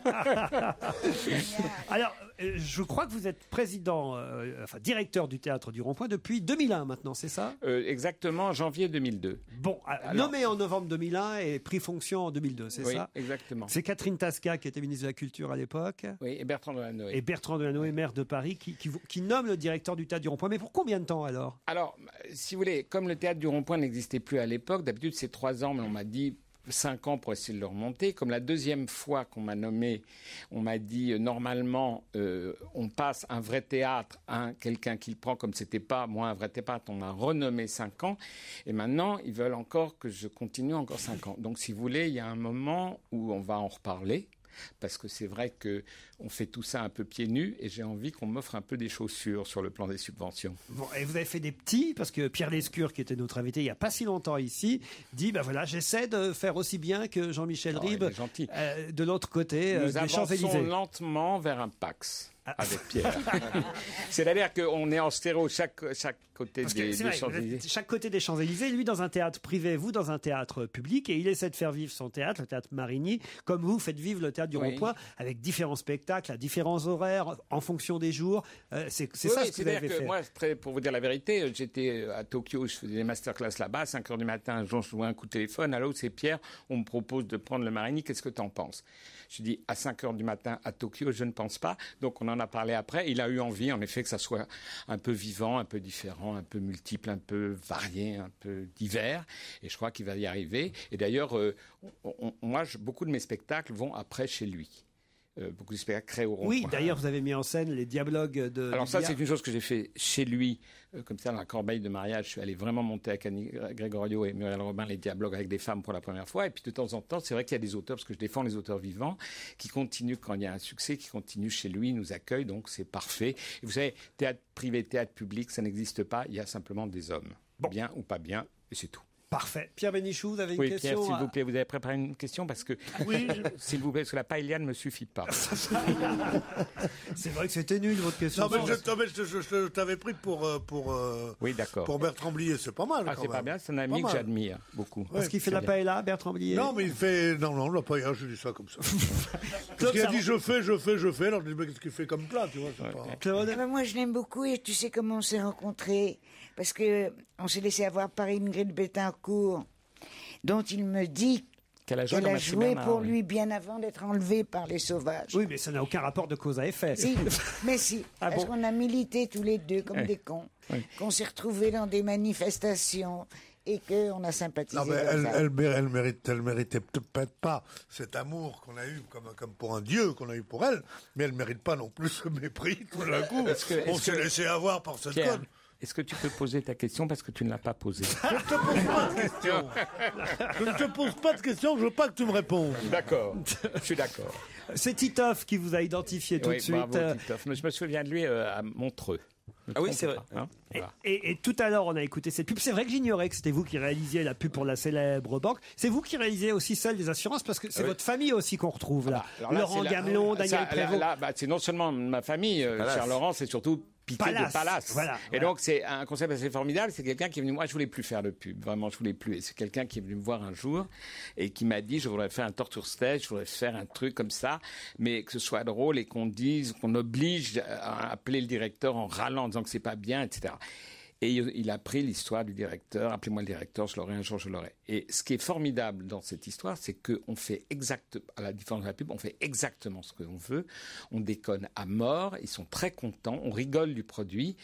Et on me dit que c'est la pub qui marche le mieux. euh, Ah ouais, c'est. Et Je l'aurai, s'identifiable. je l'aurai, un jour, je l'aurai. Voilà. Et il y a plein de comédiens Et ça qui permet viennent- de rappeler Philippe Corsan qui n'est plus là. Oui, Et- salut à Philippe et, à et- plein de et gens. c'est Ouais, lui merci. aussi qu'on voyait dans cette ah bah, pub. C'est lui qui était le directeur de Palace et qui venait. Et aujourd'hui, qui c'est Prévost qui joue le Non, non, rôle alors aujourd'hui, c'était Ça euh, farci, mais maintenant, euh, je vais vous donner un scoop, parce que je voulais vous donner un scoop. Ah oui, on veut que bien. vous aime bien. Ça va être Laurent Gamelon qui va faire le directeur de Il l'agence. passe directeur, là. Voilà, voilà. Il passe directeur Laurent Gamelon qu'on retrouve donc dans les nouvelles brèves de comptoir Voilà, au théâtre du euh, Rond-Point, toujours euh, signé Jean-Marie Gouriot évidemment pour la recherche et la quête de ces brèves. Parfois on l'a soupçonné de les écrire Alors, je, lui-même. je voudrais vous dire quelque chose. Euh, ça fait des années qu'on travaille ensemble. Il y a des milliers de brèves. C'est compliqué. On les trie, on les rissole, on trouve, on trouve des situations. Jean-Marie a écrit des romans. J'ai commis quelques pièces et quelques scénarios. Si je voulais les écrire, franchement, je les écrirais. Et je vais vous dire une autre chose, c'est que c'est que des vraies phrases. Et je vais vous dire tellement, c'est vrai que toutes les les copies de ça, les brèves de prétoire, les brèves d'Assemblée nationale, ça ne marchent pas parce que ce sont des blagues.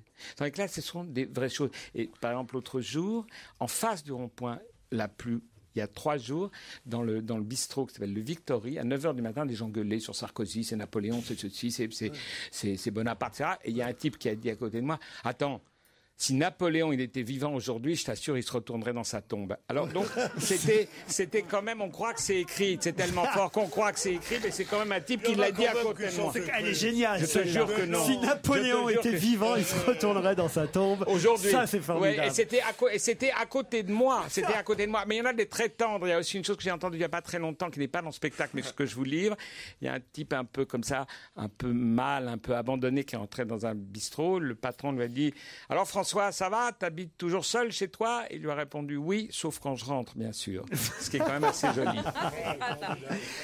Dans, votre- le dernier film que vous avez réalisé, Muséo au Musée Bas, c'était pas euh, signé Jean-Marie Gouriot, mais il y avait des formes de brèves, euh, des réflexions que- que- qu'on entend dans les musées, par exemple. Oui, il y avait cette chose, euh, oui, qui était d'ailleurs, euh, je- qui est une phrase qui restait un peu mythique, j'exagère, que disait Valérie Lemercier, qui disait J'adore toute cette période qui va de Vinci à Warhol. Oui, qui était par exemple une phrase qu'on disait dans les musées. Mais ce n'est pas exactement des brèves, c'était des gens qui se croisaient, c'était un fleuve euh, dans le dent qui coulait dans un musée. Alors justement, là, il va falloir que vous me vous complétiez euh, une lacune que j'ai là, parce que j'ai- un problème. Euh, Vous m'avez dit que vous avez réalisé cinq films et j'en trouve que quatre dans votre filmographie. Alors, Oui, parce je que- trouve Rien ne va plus Oui. en 79. La galette du roi, c'était avec Roger Hanin, ça, la galette du roi, non, c'est pas ça?